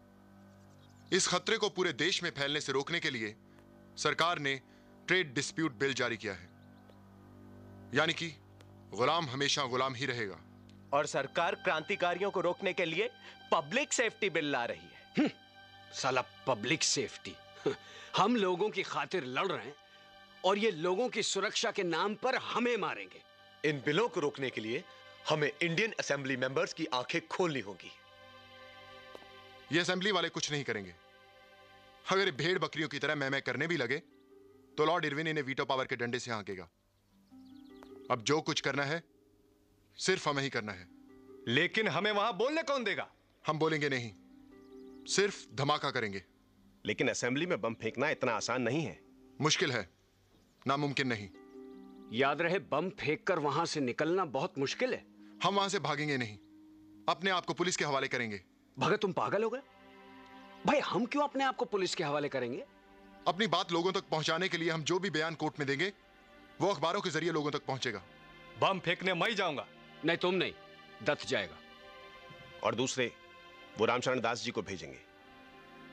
नहीं भगत जाएगा क्योंकि लोगों तक अपनी सोच पहुँचाने का जो हमारा मकसद है वो भगत ही पूरा कर सकता है और कोई नहीं। लेकिन मैं भी जाना चाहता हूँ। खामोश। बम फेंकने भगत सिंह और बटुकेश्वर दत्त जाएँगे। सबको मंजूर? मंजूर है। ठीक है।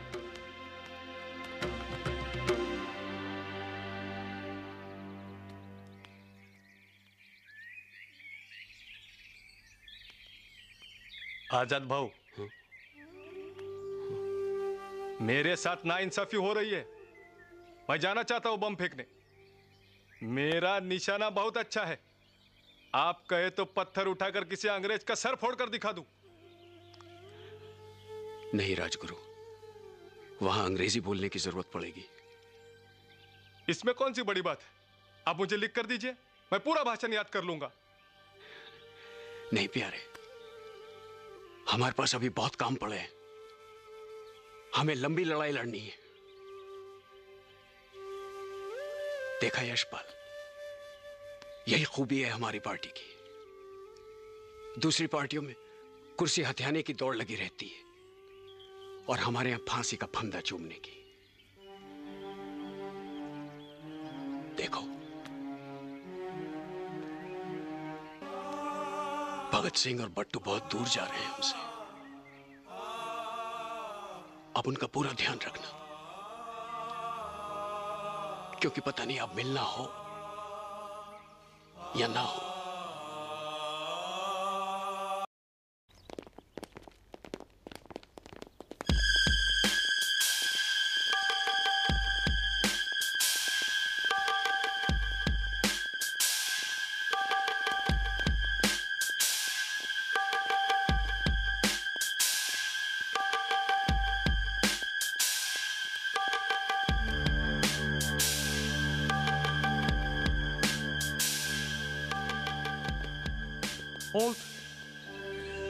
Pass.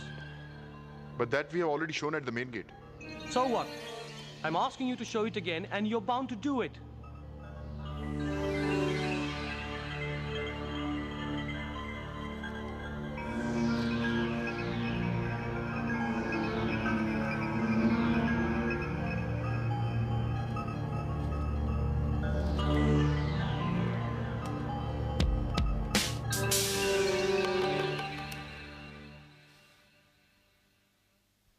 Honourable members ये बिल्स ट्रेड डिस्प्यूट और पब्लिक सेफ्टी बिल्स इस हाउस के जेर बहस हैं।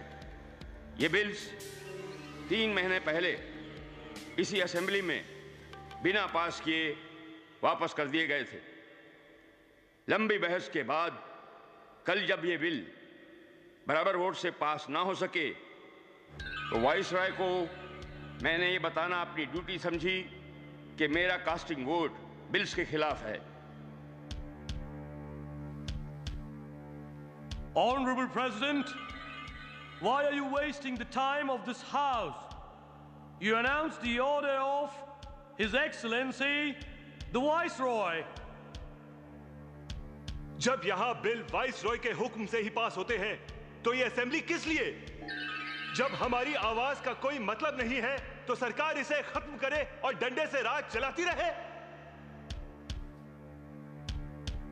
मुझे अफसोस है कि इस हाउस की आवाज़ सरकार के बहरे कानों तक नहीं पहुँच पाई। As the trade dispute bill is now out of the way, I propose to give my बनाने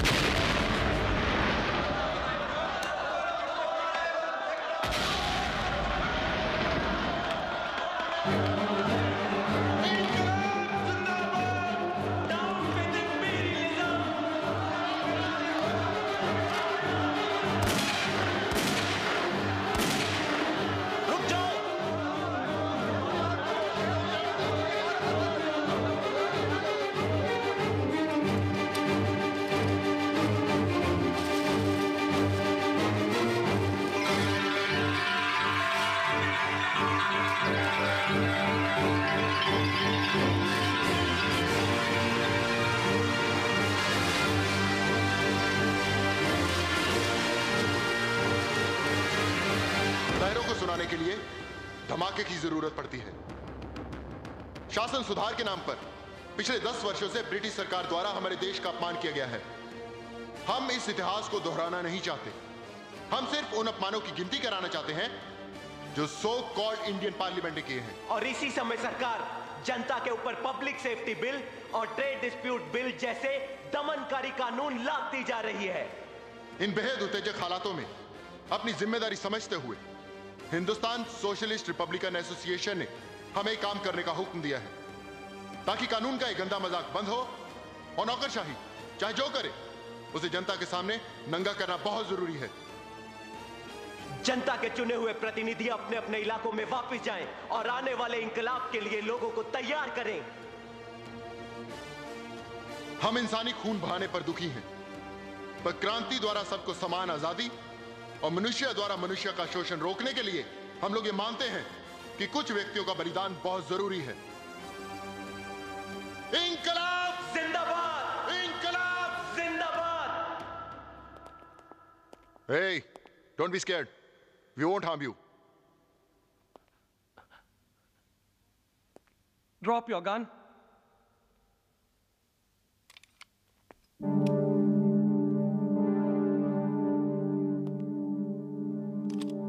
Now you can arrest us. And we'll tell the whole world that we have done it. बरतानवी parliament में कुछ मेंबरों ने इस बात पर बड़ी संजीदगी से सोच विचार किया कि हिंदुस्तान की असेंबली में होने वाला ये बम धमाका कोई अच्छी निशानी नहीं है इसकी गूंज सारी दुनिया में होगी ये सूरत हाल हमारी सरकार के लिए खतरनाक साबित हो सकती है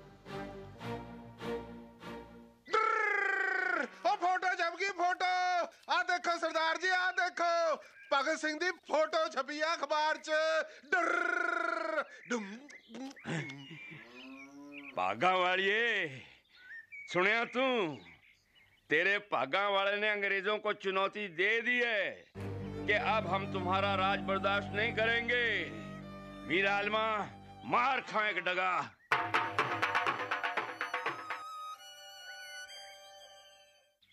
Your excellency it is a dangerous sign सोशलिस्टों की ताकत बढ़ती जा रही है। ये खतरनाक आसार हैं। इन्हें रोकने के लिए आप गांधी जी से समझौता कर लें। Don't worry. फ़िक्र ना करें। अगर हमें हिंदुस्तान छोड़ना ही पड़ा तो हम हुकूमत सोशलिस्टों को देकर नहीं जाएँगे। हम सिर्फ़ उन्हीं को हुकूमत सौंपेंगे जो हमारे हितों की रक्षा कर सकें. हमने हिंदुस्तान में बहुत पैसा लगाया है।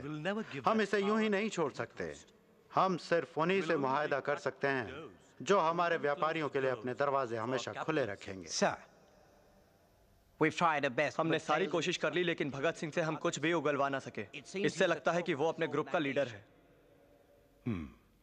Don't worry. कोई बात नहीं। हम जानते हैं कि लीडर को कैसे तोड़ना है। उसकी ताकत जड़ से काट दो। उसके माताहतों को तलाश करके गिरफ़्तार कर लो। कैसे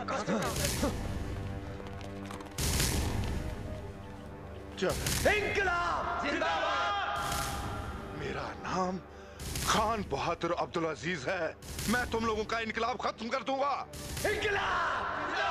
इंकलाब!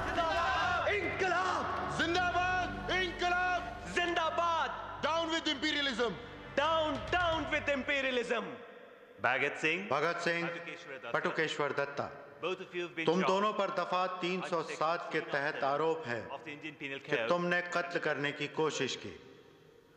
तुम दोनों पर इल्ज़ाम है कि तुमने मारने के मकसद से बम फेंका और शहनशाह बरतानिया की प्रजा को नुकसान पहुँचाने की कोशिश की। तुम्हें अपनी सफ़ाई में कुछ कहना है? नो अपने बचाव के लिए कुछ कहना नहीं है। No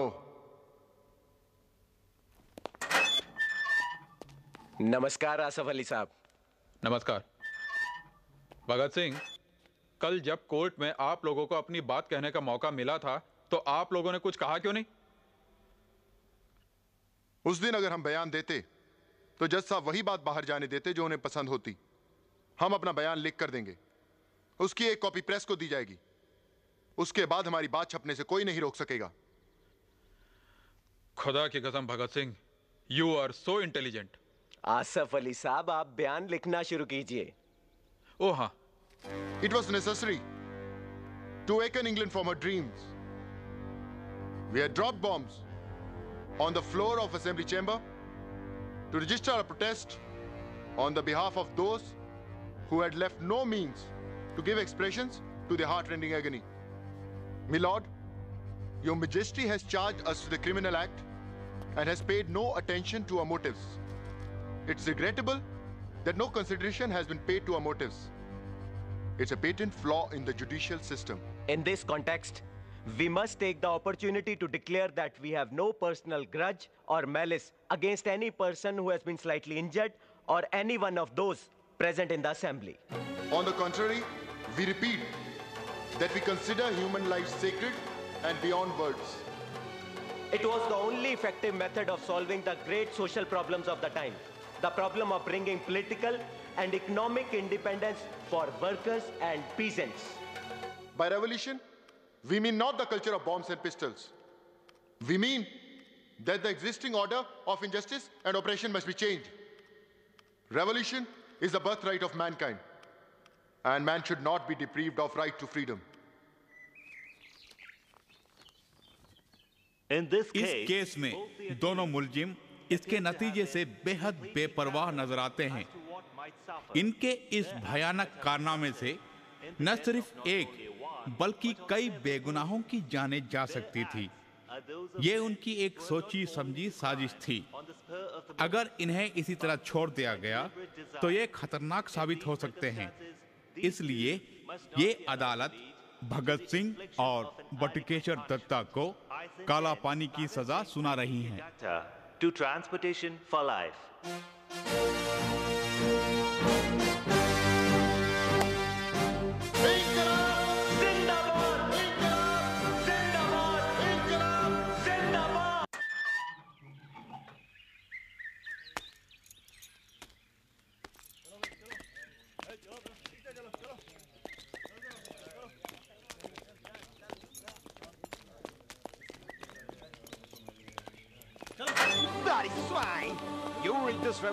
book in my jail. How dare you! I'll not allow this to happen again. Take this. Yep. You bloody Indians! Yeah. Listen to me. No one read this book in this jail. Yeah. ये क्रांतिकारी किताब कोई नहीं पढ़ेगा I'll kill you if I catch you with this. समझे? You bloody Indians! Yeah. Take this! Take this! Bloody swine! I'll show you! Yeah! You bloody Indian! Take this! I'll show you! Yeah! Don't do it again, I know! Yeah! छोड़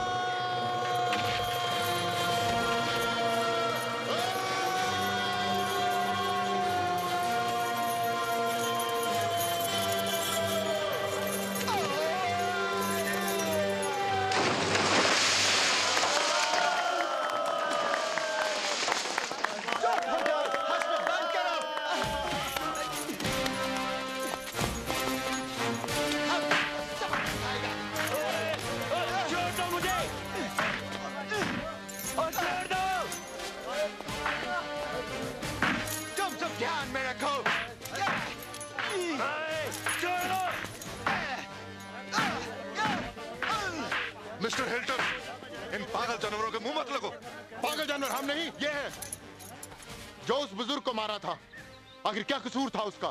कसूर तो अब तुमने किया है। तुम्हारे अंदर जो गर्म खून है मैं निकालूँगा तुम्हें बताऊँगा मैं कैदियों को कैसे रखता हूँ। हम लोग कोई चोरी डकैती के केस में जेल में नहीं आए। हम लोगों ने बगावत की है। हम लोग जंगी कैदी हैं। अब हम तुम्हें समझाएँगे कि जेल में जंगी कैदियों को कैसे रखा जाता है।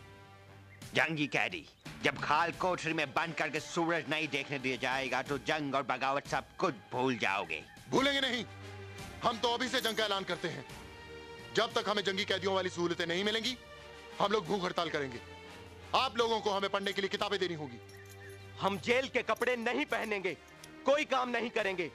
और जब तक हमारी मांगे पूरी नहीं हो जाती हम खाना नहीं खाएँगे। इनकलाब! जिंदाबाद! भूखे मर जाओगे कुछ नहीं मिलेगा। मेरे जुल्मों की हद तुम लोगों ने नहीं देखी। सिपाहियों इन लोगों को ले जाओ।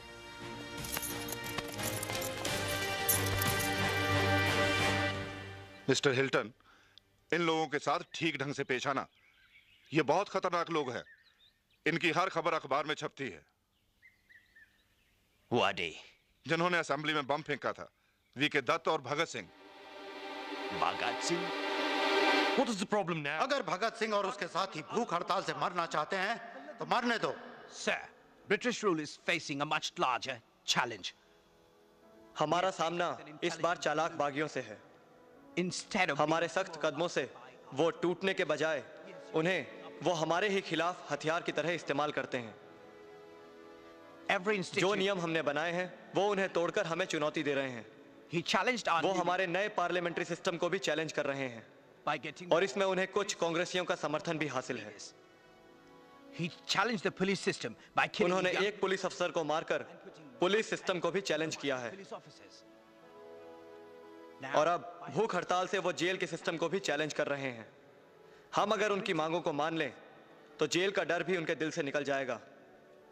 And if we don't, और ये बात सारी जेलों में फैल जाएगी। In every jail. So then, तो क्या हुआ? हम भगत सिंह को जल्द से जल्द खत्म कर देंगे। the police have पुलिस के पास इसका सबूत है कि सैंडर्स कत्ल के बाद लाहौर की सड़कों की दीवारों पर लगाए गए पोस्टर्स और असेंबली में फेंके गए पर्चों की लिखावट एक ही आदमी की है। गुड ठीक है। पुलिस से कहो कि उनके खिलाफ ऐसा केस तैयार करें कि उन्हें अंग्रेज़ी सरकार के खिलाफ साजिश करने का सबक मिल सके। अगर ज़रूरी हुआ तो हम ज़्यादा से ज़्यादा लोगों को फांसी देने के लिए अपनी ताकत इस्तेमाल करेंगे। इससे हम मुसीबत में पड़ सकते हैं क्योंकि इस वक्त ज़्यादातर लीडर उनके पक्ष में हैं। No problem. We have good friends here. अच्छे दोस्त हैं। उनकी अहिंसा पॉलिसी हमारी मदद करेगी। अब जाओ और एक अच्छा सा साजिश का केस तैयार करो। Yes, sir.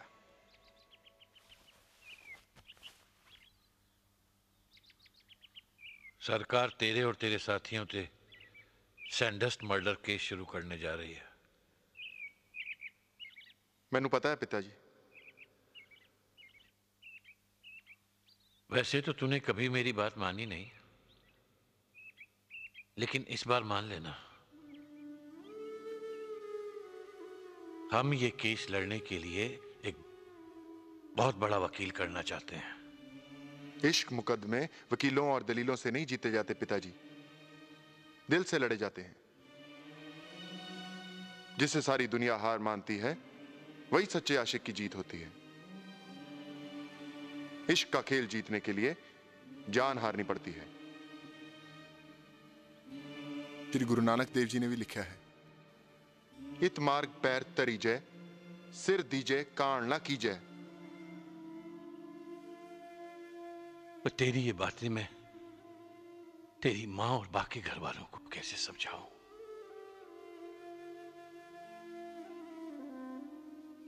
आज पैंतीस दिन हो गए तेरी भूख हड़ताल को।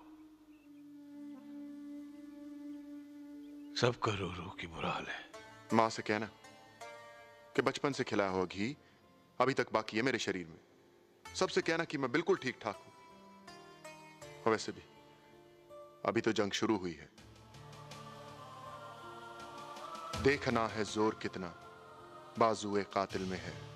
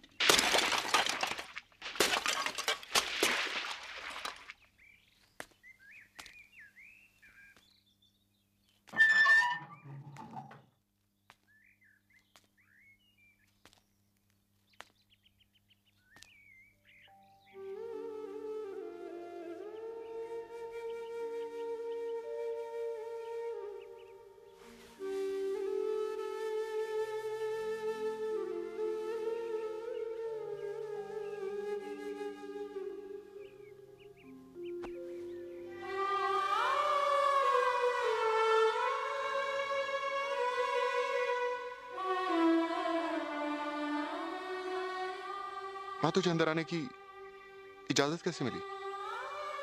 पुत्र इन अंग्रेज़ों ने आज एक हिंदुस्तानी माँ के रुतबे को खत्म करने की कोशिश की। मुझसे पुलिस ने कहा कि तूने अपनी अपनी भूख हड़ताल खत्म कर दी और मेरे हाथों से रोटी खाना चाहता है। मगर माँ तूने कैसे समझ लिया कि मैंने अपनी भूख हड़ताल खत्म नहीं की? मैंने तुझे जन्म दिया है पुत्र। अगर मैं बेटे के मुँह में धोखा खा सकती हूँ तो तुझे देख के मेरा दिल समझ सकता है कि तेरे मन में क्या है। हाँ मुझसे गलती तो हुई है, पुत्र। आज मैं ही अपने हकों की जंग लड़ रहे पुत्र के खिलाफ हथियार बनने जा रही थी। इसमें तेरी कोई गलती नहीं है, माँ। जब ये अंग्रेज़ लोग धर्म और जात के नाम पर भाई भाई को आपस में लड़वा सकते हैं तो एक माँ को धोखा देना इनके लिए मुश्किल नहीं है। लेकिन ये लोग ये नहीं जानते कि जिस पुत्र को मैंने अपनी कोख में नौ महीने, गुरु गोविंद सिंह जी की चंडी दी वार का पाठ सुनाकर पैदा किया है, वो हार ही नहीं सकता। पुत्र, तू अपने सच पे डटे रहना। जीत तेरी ही होगी।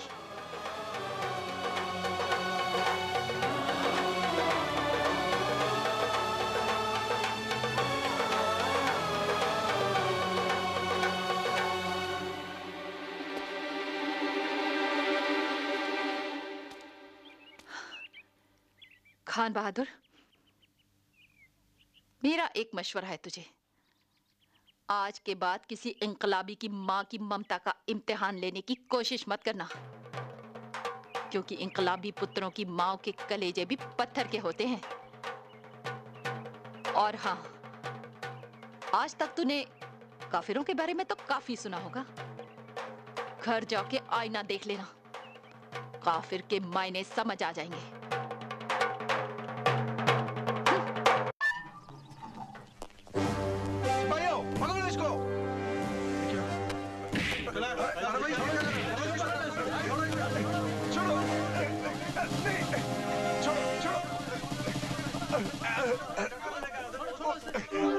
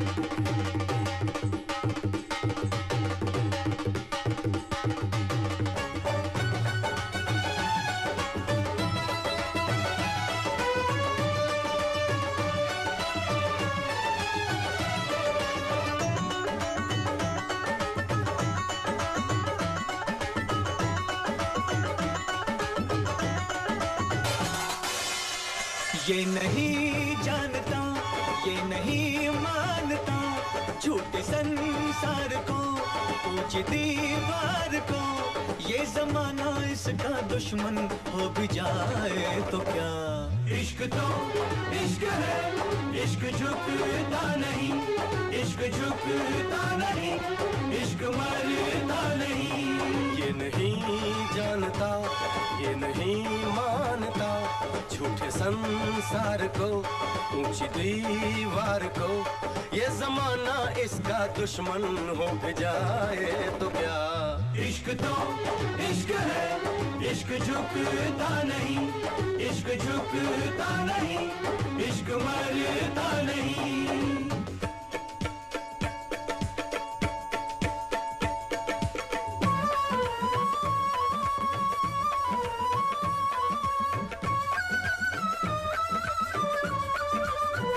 इश्क रहता है आसमानों पे। इश्क रहता है आसमानों पे। नूर इसका है दो जहानों पे? नूर इसका है दो जहानों पे? ये जमाना इसका दुश्मन वो विदार तो क्या? इश्क तो इश्क है। इश्क झुकता नहीं। इश्क झुकता नहीं। इश्क मरता नहीं।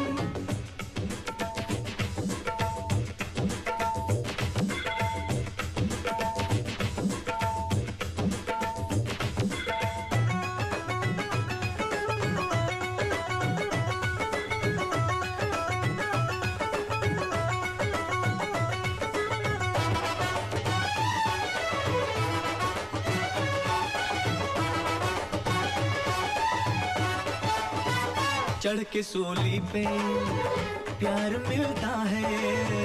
चढ़ के सूली पे प्यार मिलता है। खुद फना होकर यार मिलता है। फना होकर प्यार मिलता है। ये जमाना इसका दुश्मन हो भी जाए तो क्या? इश्क तो इश्क है इश्क झुकता नहीं इश्क झुकता नहीं इश्क मरता नहीं।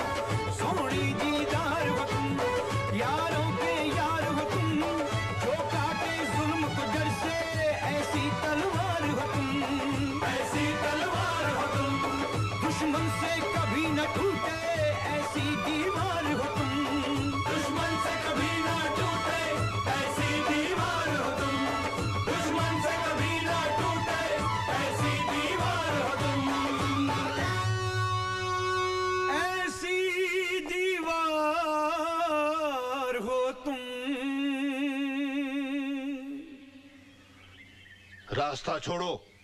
तुम लोग जतिन को कहाँ लेके जा रहे हो? ये लाला देवीदास इन्हें जमानत पर ले जा रहे हैं। तुम इसे सिर्फ़ इसलिए लेकर जा रहे हो कि कहीं इसकी मौत जेल में ना हो जाए। भूख हड़ताल करोगे तो मौत तो होगी ही। ओए जतिन की हालत भूख से नहीं बिगड़ी। तुम्हारे ज़बरदस्ती दूध पिलाने से बिगड़ी है। अगर तुम इसे ले जाना ही चाहते हो तो बिना शर्त रिहा करो। ऐसा नहीं हो सकता। तो इस तरह हम इसे ले जाने नहीं देंगे। और इसे ले जाने के लिए तुम्हें हमारी लाशों से गुजरना होगा।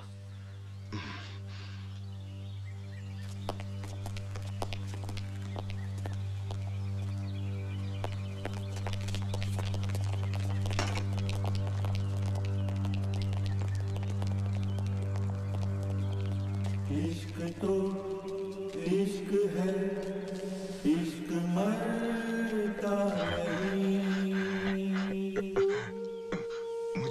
मत लेके जा भगत। मैं अपनी आखिरी सांस इस खुले हवा में लेना चाहता हूँ। नहीं मेरे दोस्त तुम अभी आखिरी सांस नहीं ले सकते। अभी तो हमें आज़ाद हिंदुस्तान साथ में देखना है। भगत आज़ाद हिंदुस्तान हमारी आने वाली पीढ़ियाँ देखेंगी। जब हम इस राह में चले थे तो हमें मालूम था कि एक दिन मौत से मुलाकात होगी। बस मैं तुम लोगों से कुछ आगे निकल गया। इनकलाब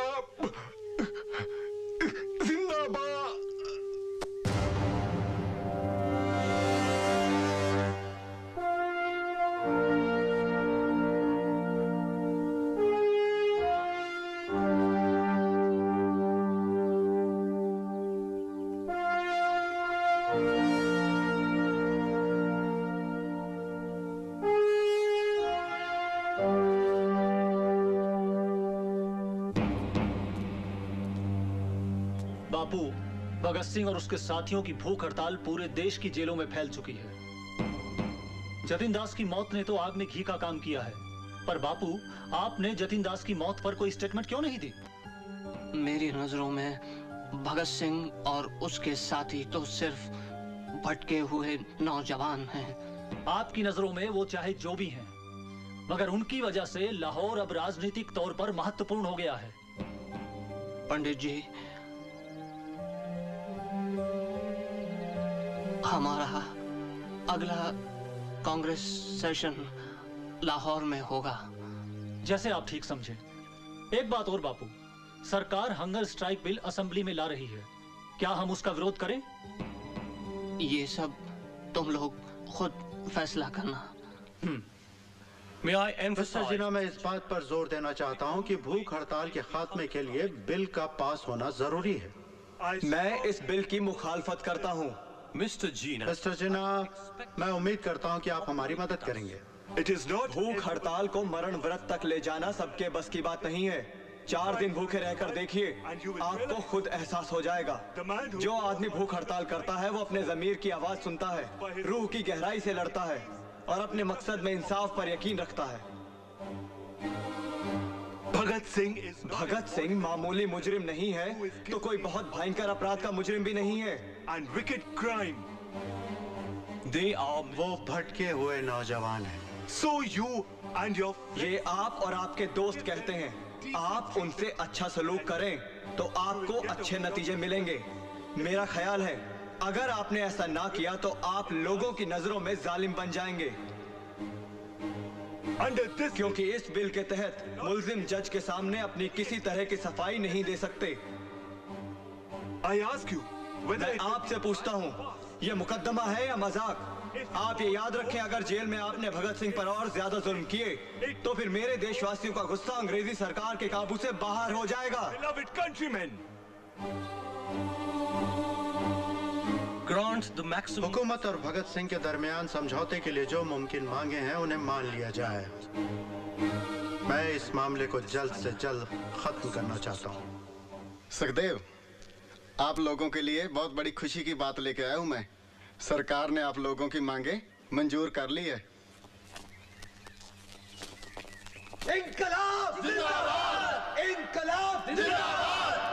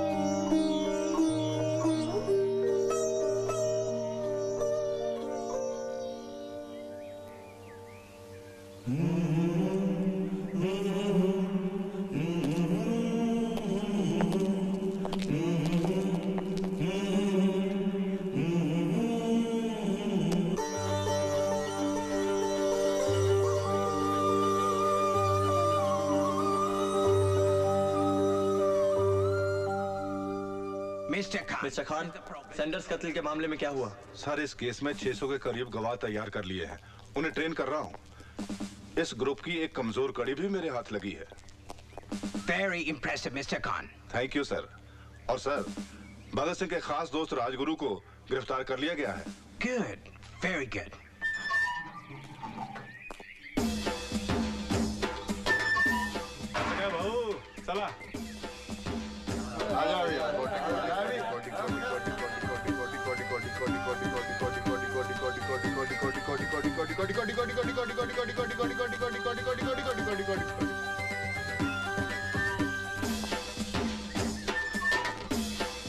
इनकलाब जिंदाबाद अरे राजगुरु इनकलाब जिंदाबाद इनकलाब जिंदाबाद इनकलाब आखिर आई गए प्यारे तुम भी। तुमको तो मालूम। जान के बगैर जिसम कैसा रहे? दरवाज़ा खोलो।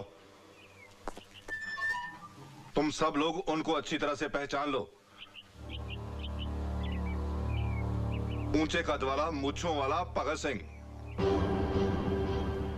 काली टोपी वाला राजगुरु। और जो छोटा है, छोटी मूछों वाला, वो सुखदेव।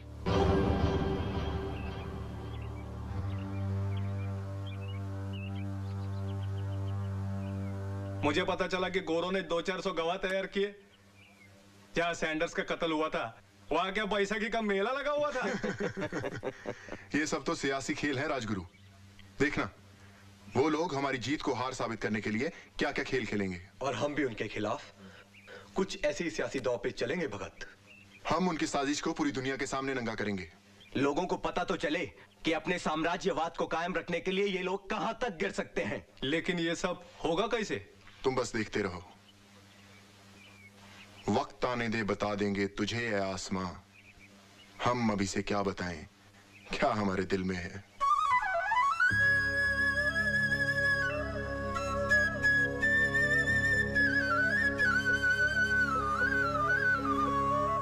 अब तो खा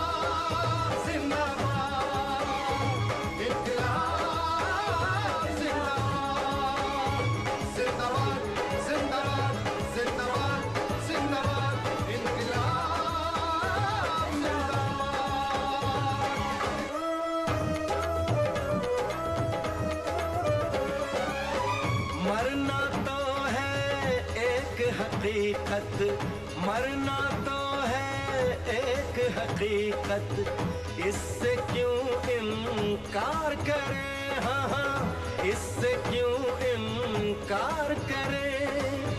अपनी मौत की उंगली पकड़ कर, अपनी मौत की उंगली पकड़ कर, हम दुश्मन पर वार करें। हाँ हाँ हम दुश्मन पर वार करें।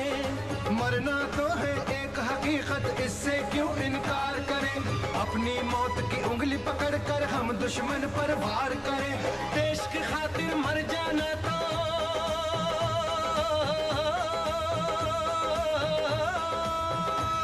ओए देश की खातिर मर जाना तो अपना है अरमान।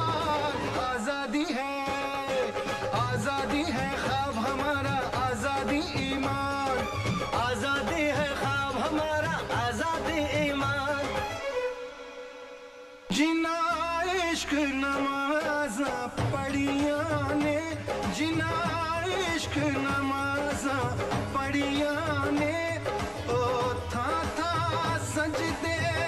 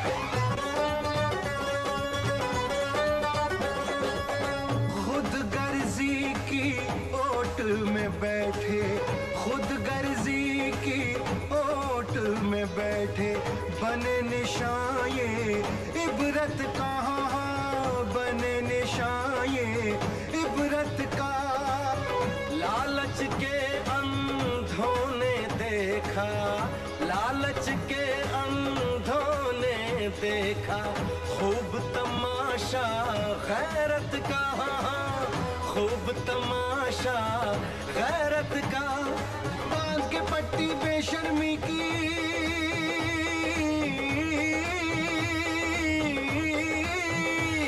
अगर बाँध के पट्टी बेशर्मी की, बन बैठे प्रधान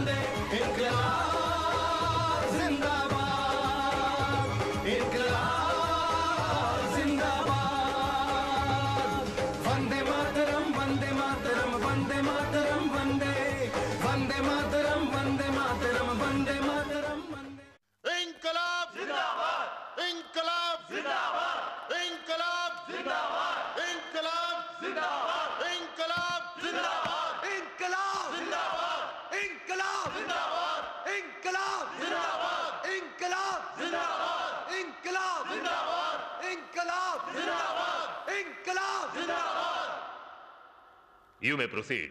Inspector Fun, do you recognize the accused?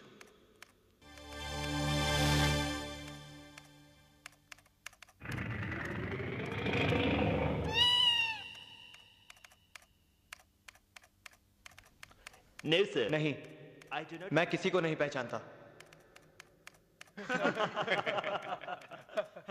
क्या जानते हो तुम सांड्रस कत्ल के बारे में मैं तो इतना जानता हूँ जज साहेब कि पुलिस वालों ने मुझसे कहा कि तुम कहना कि भगत सिंह और उनके साथियों ने सैंडर्स को मारने की साजिश रची थी।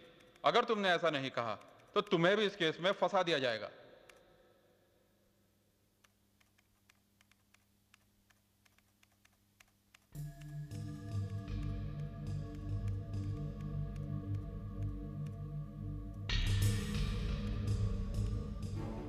जनाब, ये सब इनका ही किया धरा है।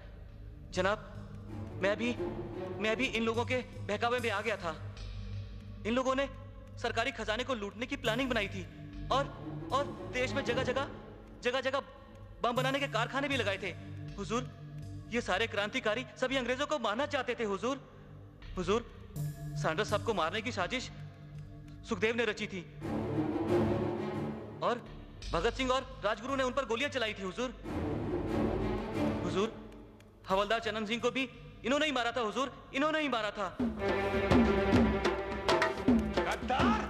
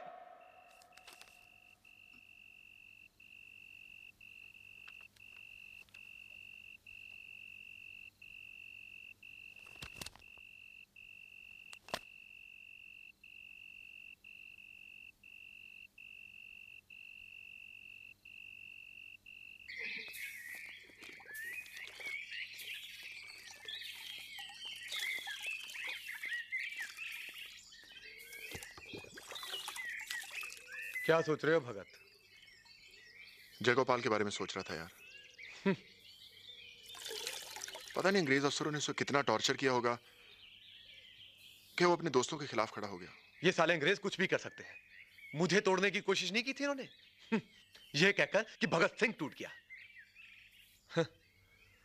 और मुझे तो झूठी खबरों वाले अखबार भी दिखाए थे इन्होंने। हो भाऊ जय गोपाल के साथ ऐसा कुछ नहीं हुआ है। वो मुझे पहले से ही कमीना और लालची नज़र आता था। अगर कोर्ट में उस दिन मेरे हाथ में रिवॉल्वर होता ना तो उसे वही गोली मार देता साले को। फांसी तो वैसे भी लगनी है। इतनी गर्मी में मत रहा करो प्यारे। फांसी हमें जयगोपाल के कहने से नहीं लगेगी। उसका फैसला तो ब्रिटिश सरकार बहुत पहले से कर चुकी है। कोर्ट में तो सारे सिर्फ़ ड्रामा कर रहे हैं। What's going on? The happenings in ये सब क्या है? अदालत में जो कुछ हो रहा है वो बरतानवी हुकूमत के लिए शर्मनाक है। सारी दुनिया में जो हमारे दुश्मन हैं भगत सिंह की मदद कर रहे हैं। वो तो गांधी से भी ज़्यादा मशहूर होता जा रहा है। ये अदालती कार्रवाई कितने दिन में पूरी होगी? Inquiry. इस रफ्तार से तो साल भी लग सकता है। हम इतना इंतज़ार नहीं कर सकते। तो फिर हमें इसके लिए कुछ ड्रामाई अंदाज अपनाना होगा। एक भगत सिंह की तरफ़ से लोगों का ध्यान हटाया जाए और दो उसको जल्द से जल्द खत्म कर दिया जाए। गांधी का असेंबली बॉयकॉट लोगों का ध्यान अपनी तरफ़ खींचेगा और दांडी मार्च का ऐलान उनको और ज़्यादा लुभाएगा। ऐसा करते हैं कि कांग्रेस के हर छोटे बड़े को गिरफ़्तार कर लें जिससे वे आवाम में ज़्यादा मशहूर हो जाएँगे। ये तो सिर्फ़ आधा काम है। इसके लिए हाई कोर्ट से खास इजाजतनामा लिया जाए जिसकी अपील सिर्फ़ प्रीव्यू काउंसिल में ही हो सकती है। Applicable in Privy Council. But sir, लेकिन ट्रिब्यूनल की मियाद तो सिर्फ़ छह महीने की होती है। इस नौजवान की ज़िंदगी की मियाद भी उतनी ही है। ट्रिब्यूनल में दो अंग्रेज़ जज और एक हिंदुस्तानी जो कि मुस्लिम हो। Too Muslim. बहुत अच्छा सर। हिंदू मुस्लिम को आपस में लड़ाने का क्या खूब आइडिया है। पंडित। जय हिंद। जय हिंद।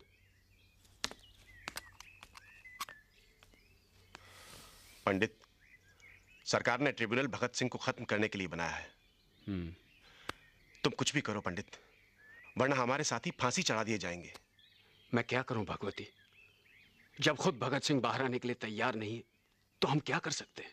कुछ ना कुछ तो करना पड़ेगा पंडित जी। इस तरह सरकार को हम अपने शेर का शिकार कैसे करने देंगे?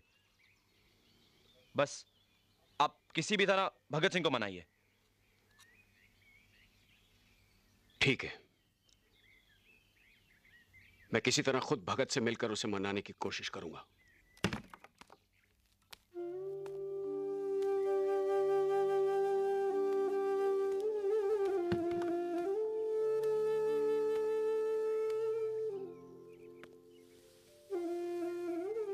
अमरो कैसी तू?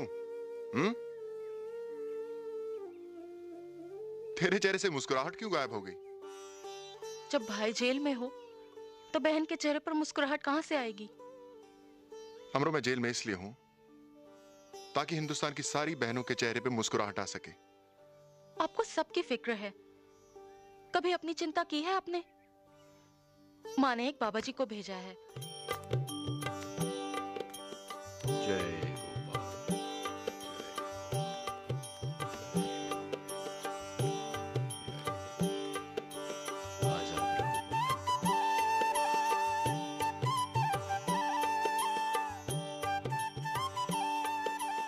बाबा जी आप यहाँ कैसे?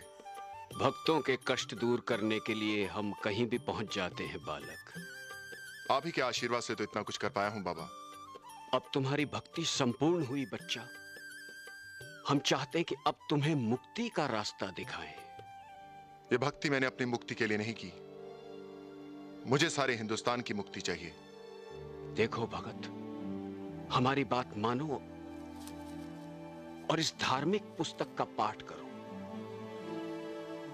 सभी पुस्तकों में सिर्फ़ अपनी मुक्ति का रास्ता लिखा रहता है बाबा। मुझे सबकी मुक्ति चाहिए। देखो भगत तुम मेरी बात मानते क्यों नहीं? तुम्हारा इस जेल से आज़ाद होना बहुत ज़रूरी है। बाबा जी आप ध्यान दीजिए। इस वक्त आप कहाँ पर हैं?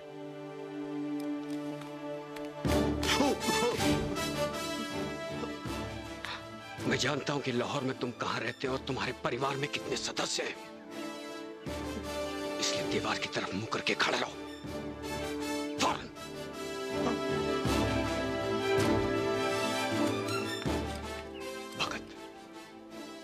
जेल आने का जो तुम्हारा मकसद था, अपनी बात पूरी दुनिया में पहुँचाने का, वो पूरा हो चुका है। और हम सबका यही फैसला है कि तुम्हें इस जेल से आज़ाद करवाया जाए। ये लो। इसे पढ़ लो। इसमें पूरी प्लानिंग लिखी है। पढ़ लो, भगत।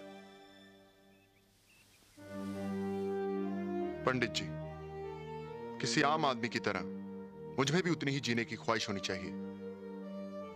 लेकिन जब से पता चला है मरने का नाम है ज़िंदगी सर पे बांधे कफन कातिल को ढूंढते हैं। भगत भगत लेकिन हम तुम्हें खोना नहीं चाहते।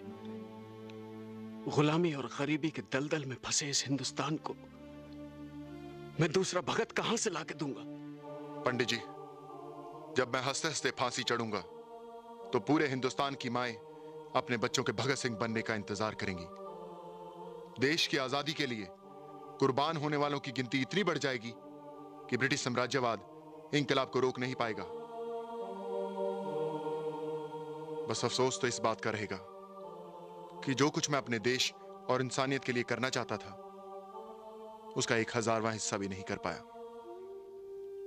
नहीं भगत, तुमने तो बहुत कुछ कर लिया मेरे दोस्त।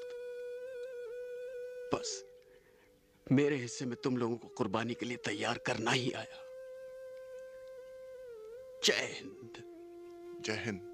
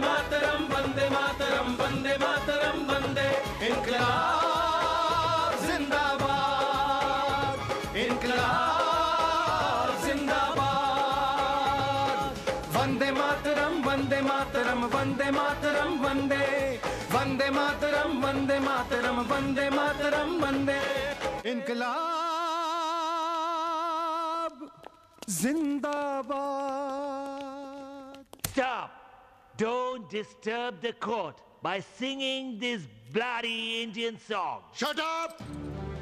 Hold your tongue, Mr. Coldstream, and dare not abuse our beloved language.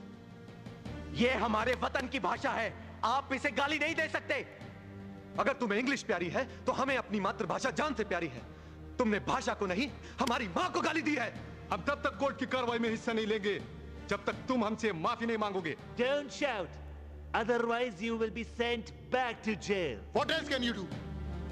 हमें तो मालूम है कि हमें फांसी दे दी जाएगी। कोर्ट में तो सिर्फ़ ड्रामा हो रहा है। And what about you mister Aga Haider? आप तो इसी मिट्टी में पैदा हुए हैं ना?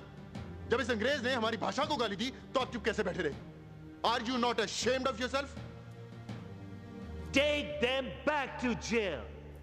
इनकलाब! इनकलाब! कयामत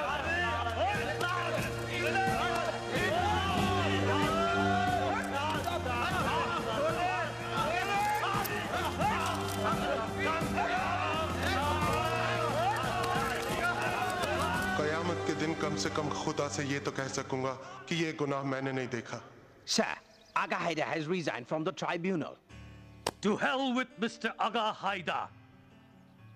Chairman से कहो कि वो छुट्टी लेकर इंग्लैंड चला जाए और कुछ दिन आराम करे उसकी जगह हैमिल्टन को चेयरमैन बना के दोबारा ट्रिब्यूनल बनाया जाए और एक दूसरे सहयोगी मुस्लिम जज को रखें छह महीने के अंदर इस ऑर्डिनेंस को खत्म हो जाना चाहिए Yes, sir.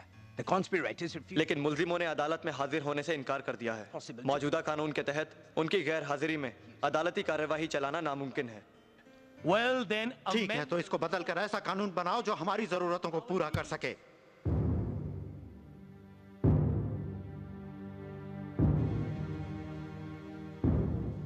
इस तरह कानून की तारीख में पहली बार मुलजिमों की गैर मौजूदगी में अंग्रेज़ी सरकार ने उन पर मुकदमा चलाया।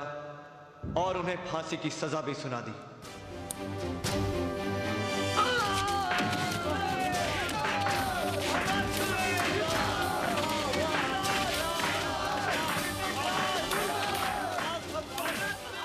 भगत सिंह और उसके साथियों की फांसी की सज़ा की खबर पड़ते ही अंग्रेज़ी हुकूमत के खिलाफ पूरे मुल्क में आंदोलन छिड़ गया।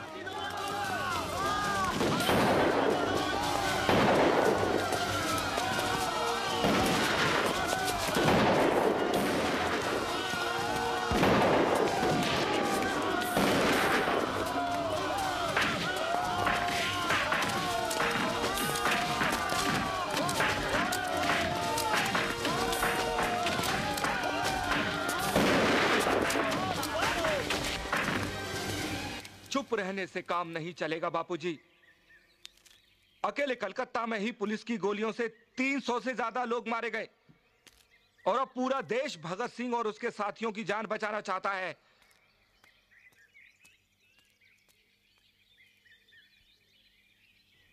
लेकिन मैं इसमें क्या कर सकता हूँ?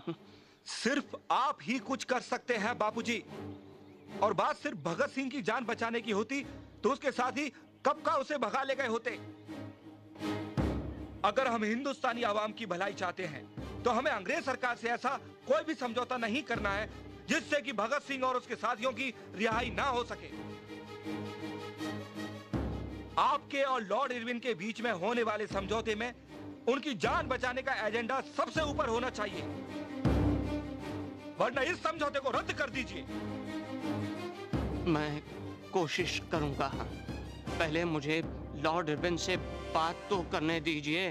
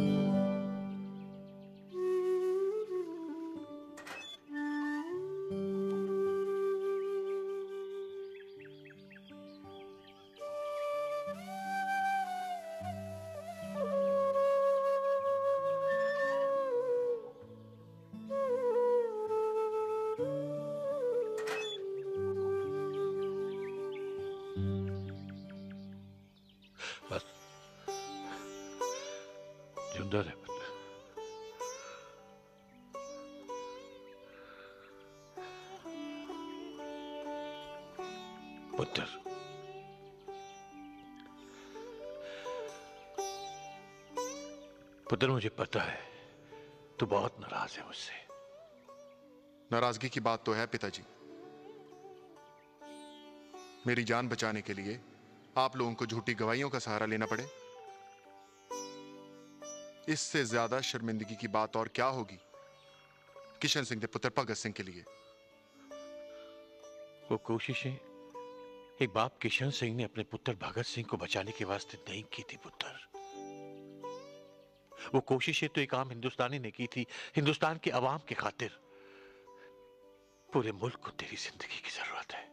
मुल्क को इस वक्त मेरी ज़िंदगी से ज़्यादा मेरी मौत की ज़रूरत है पिताजी।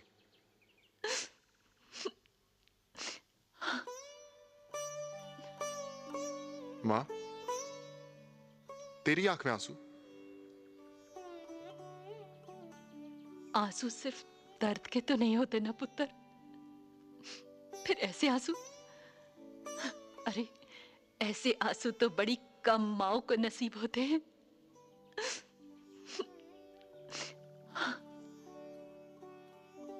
जब तू फांसी के फंदे को चूमेगा ना बेटा तो इंकलाब जिंदाबाद का नारा ज़रूर लगाना। फांसी के तख्ते पर तेरे कदम डगमगाने नहीं चाहिए। हाँ समझा ना? क्या तू अपनी कोख को इतना कमज़ोर समझती है? वीर जी अमरो पिताजी ते माँ का ख्याल रखी।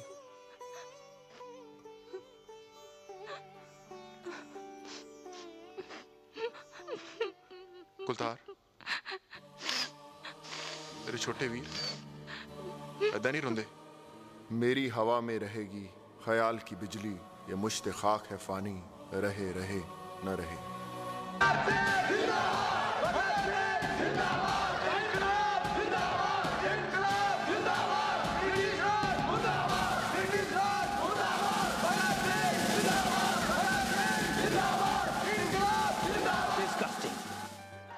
इन सारे पिछले दिनों में हम ठीक से सो भी नहीं पाए हैं और आज फांसी से एक दिन पहले भी सर अगर भीड़ इसी तरह जेल के बाहर जमा होती रही तो सवेरे तक लाखों लोग जमा हो जाएँगे सर।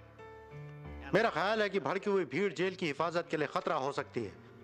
हो सकता है कि वो अपने हीरो की फांसी में दखल अंदाजी करें। शर्म आनी चाहिए तुम्हें। तुम जैसे अफसर को ऐसे मौके पर बुजदिली नहीं दिखानी चाहिए। यस हाँ मैं जानता हूँ लेकिन इसके लिए मेरा ज़िंदा रहना ज़रूरी है।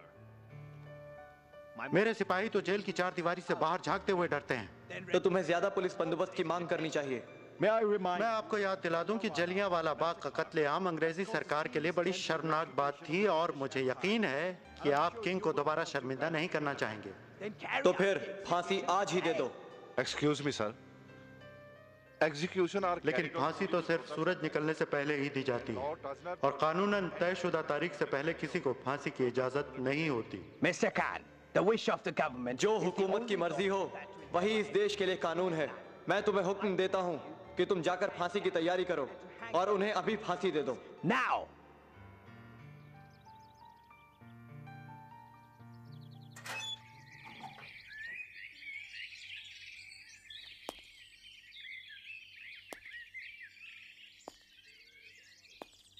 क्या बात है चढ़ सिंह जी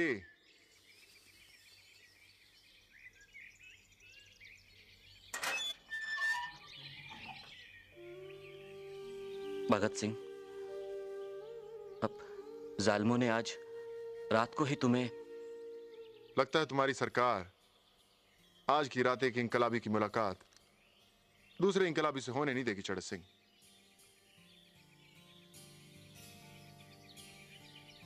बारात की तैयारी करे फिर। भगत सिंह कभी तो तुम्हें मैं एक संत के रूप में देखता हूँ। और कभी तुम दुनिया के बहुत बड़े योद्धा नज़र आते हो। लेकिन इंसानियत को बेपना मोहब्बत करने वाले इस भक्त को लोग नास्तिक क्यों समझते हैं? चढ़त सिंह, अगर इंसानियत को प्यार करना नास्तिकता है तो मैं नास्तिक हूँ। अगर अपने देश के लिए लड़ना नास्तिकता है तो मैं नास्तिक हूँ। और मुझे अपने नास्तिक होने पर गर्व है। जिसको शक हो, वो करे और खुदाओं की तलाश। हम तो इंसान को इस दुनिया का खुदा कहते हैं। गुरु गोविंद सिंह जी ने भी कहा है, जो हम हमको परमेश्वर उचरे ते सब नर कुंड में पर है। लेकिन उनकी बात को समझता कौन है, चढ़ सिंह जी? उन्होंने हमेशा हमें सिखाया है, माथा रगड़ने से कुछ नहीं होता, अपने हक के लिए लड़ना चाहिए। बल हुआ बंधन छुटे। और ना हो तु पाए। बेबे, तू इतनी उदास क्यों है? हम्म?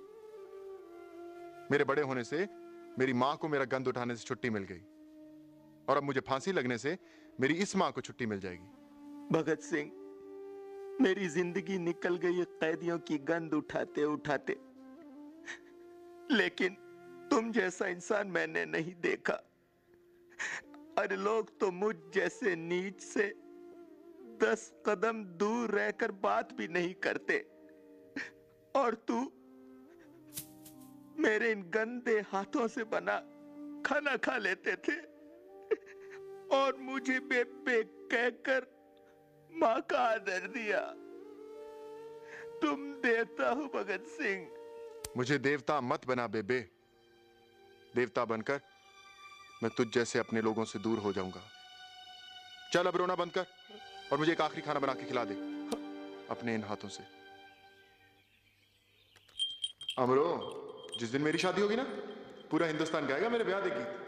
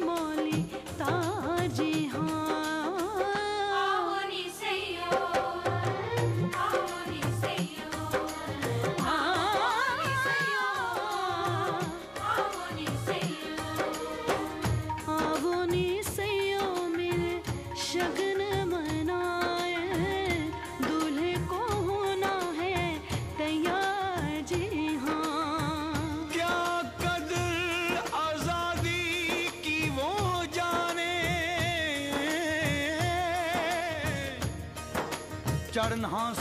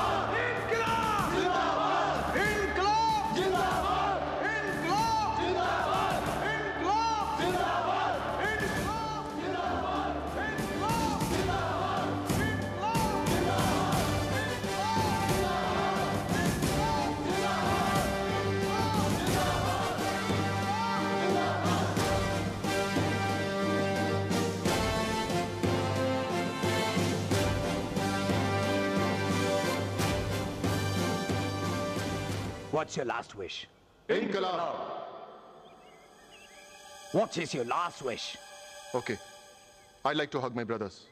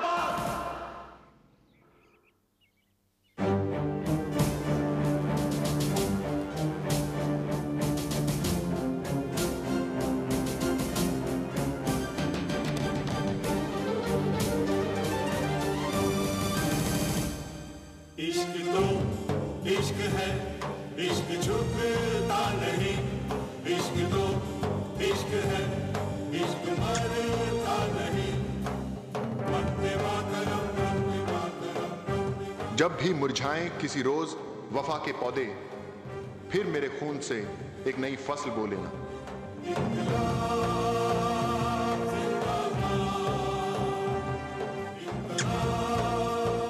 आज़ादी तो वार की जिंदड़ी, पाले अपनी हस्ती, इक्को तोहफा जान दा देके मिले शहादत सस्ती। अपनी मौत का जश्न मनाकर फांसी को हम चूमेंगे। आज़ादी के परवाने हैं मरकर भी हम झूमेंगे।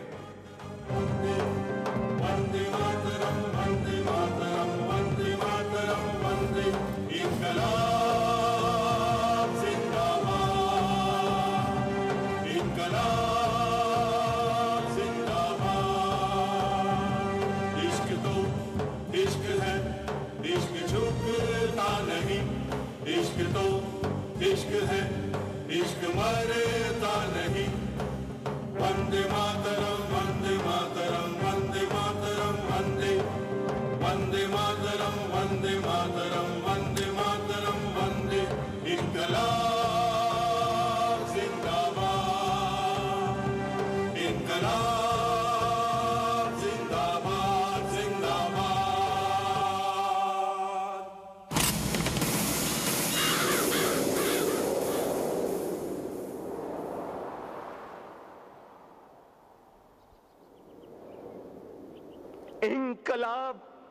जिंदाबाद। Oh my God! After a long time, बहुत दिनों बाद आज मैं राहत महसूस कर रहा हूँ। We have आखिरकार हमने अंग्रेज़ी सरकार की सबसे बड़ी चुनौती को खत्म कर दिया है। मेरी बात याद रखें मिस्टर मिल्टन। हिंदुस्तान गरीबी और खुशहाली का दरमियानी फासला कभी तय नहीं कर सकता। But sir, हिंदुस्तानी लीडर ने कहा है कि मरने के बाद ज़्यादा खतरनाक हो जाते हैं। But how? इनकी अर्थी का जुलूस अवाम में अंग्रेज़ी सरकार के खिलाफ गुस्से की आग भर देगा और हमें मजबूरन ये मुल्क छोड़ना पड़ेगा। मैं ये हरगिज नहीं होने दूँगा। मिस्टर खान जल्लाद से कहो कि लाशों के टुकड़े टुकड़े कर दे। क्या तुम सुन रहे हो? Yes sir Hurry up! Hurry up! जल्दी ले जाओ। जल्दी। जल्दी।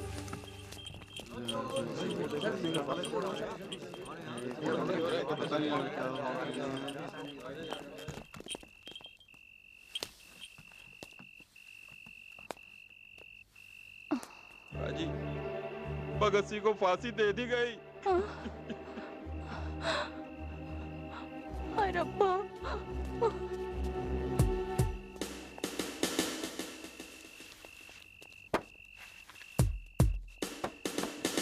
जल्दी जल्दी करो Hurry up! Hurry up! Hurry up! Come on!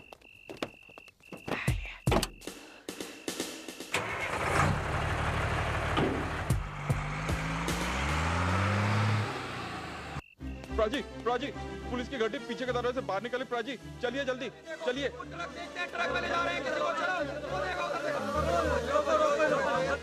Push it down,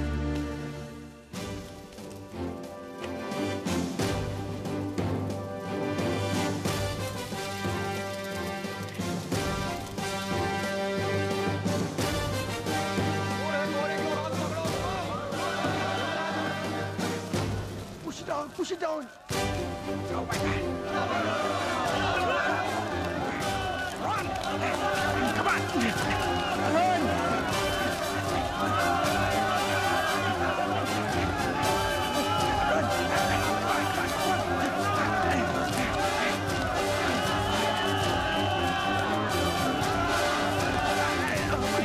Oh my Oh, Jesus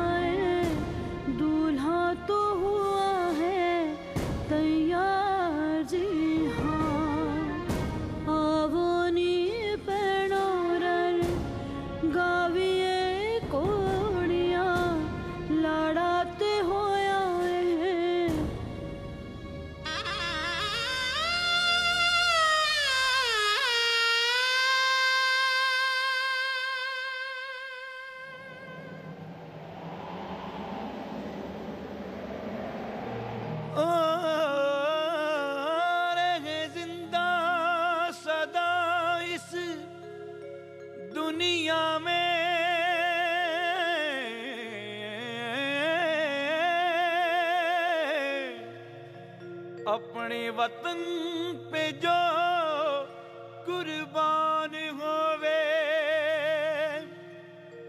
आशिक दिल दे तूने जान दे दी।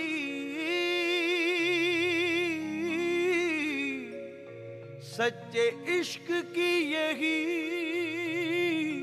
पहचान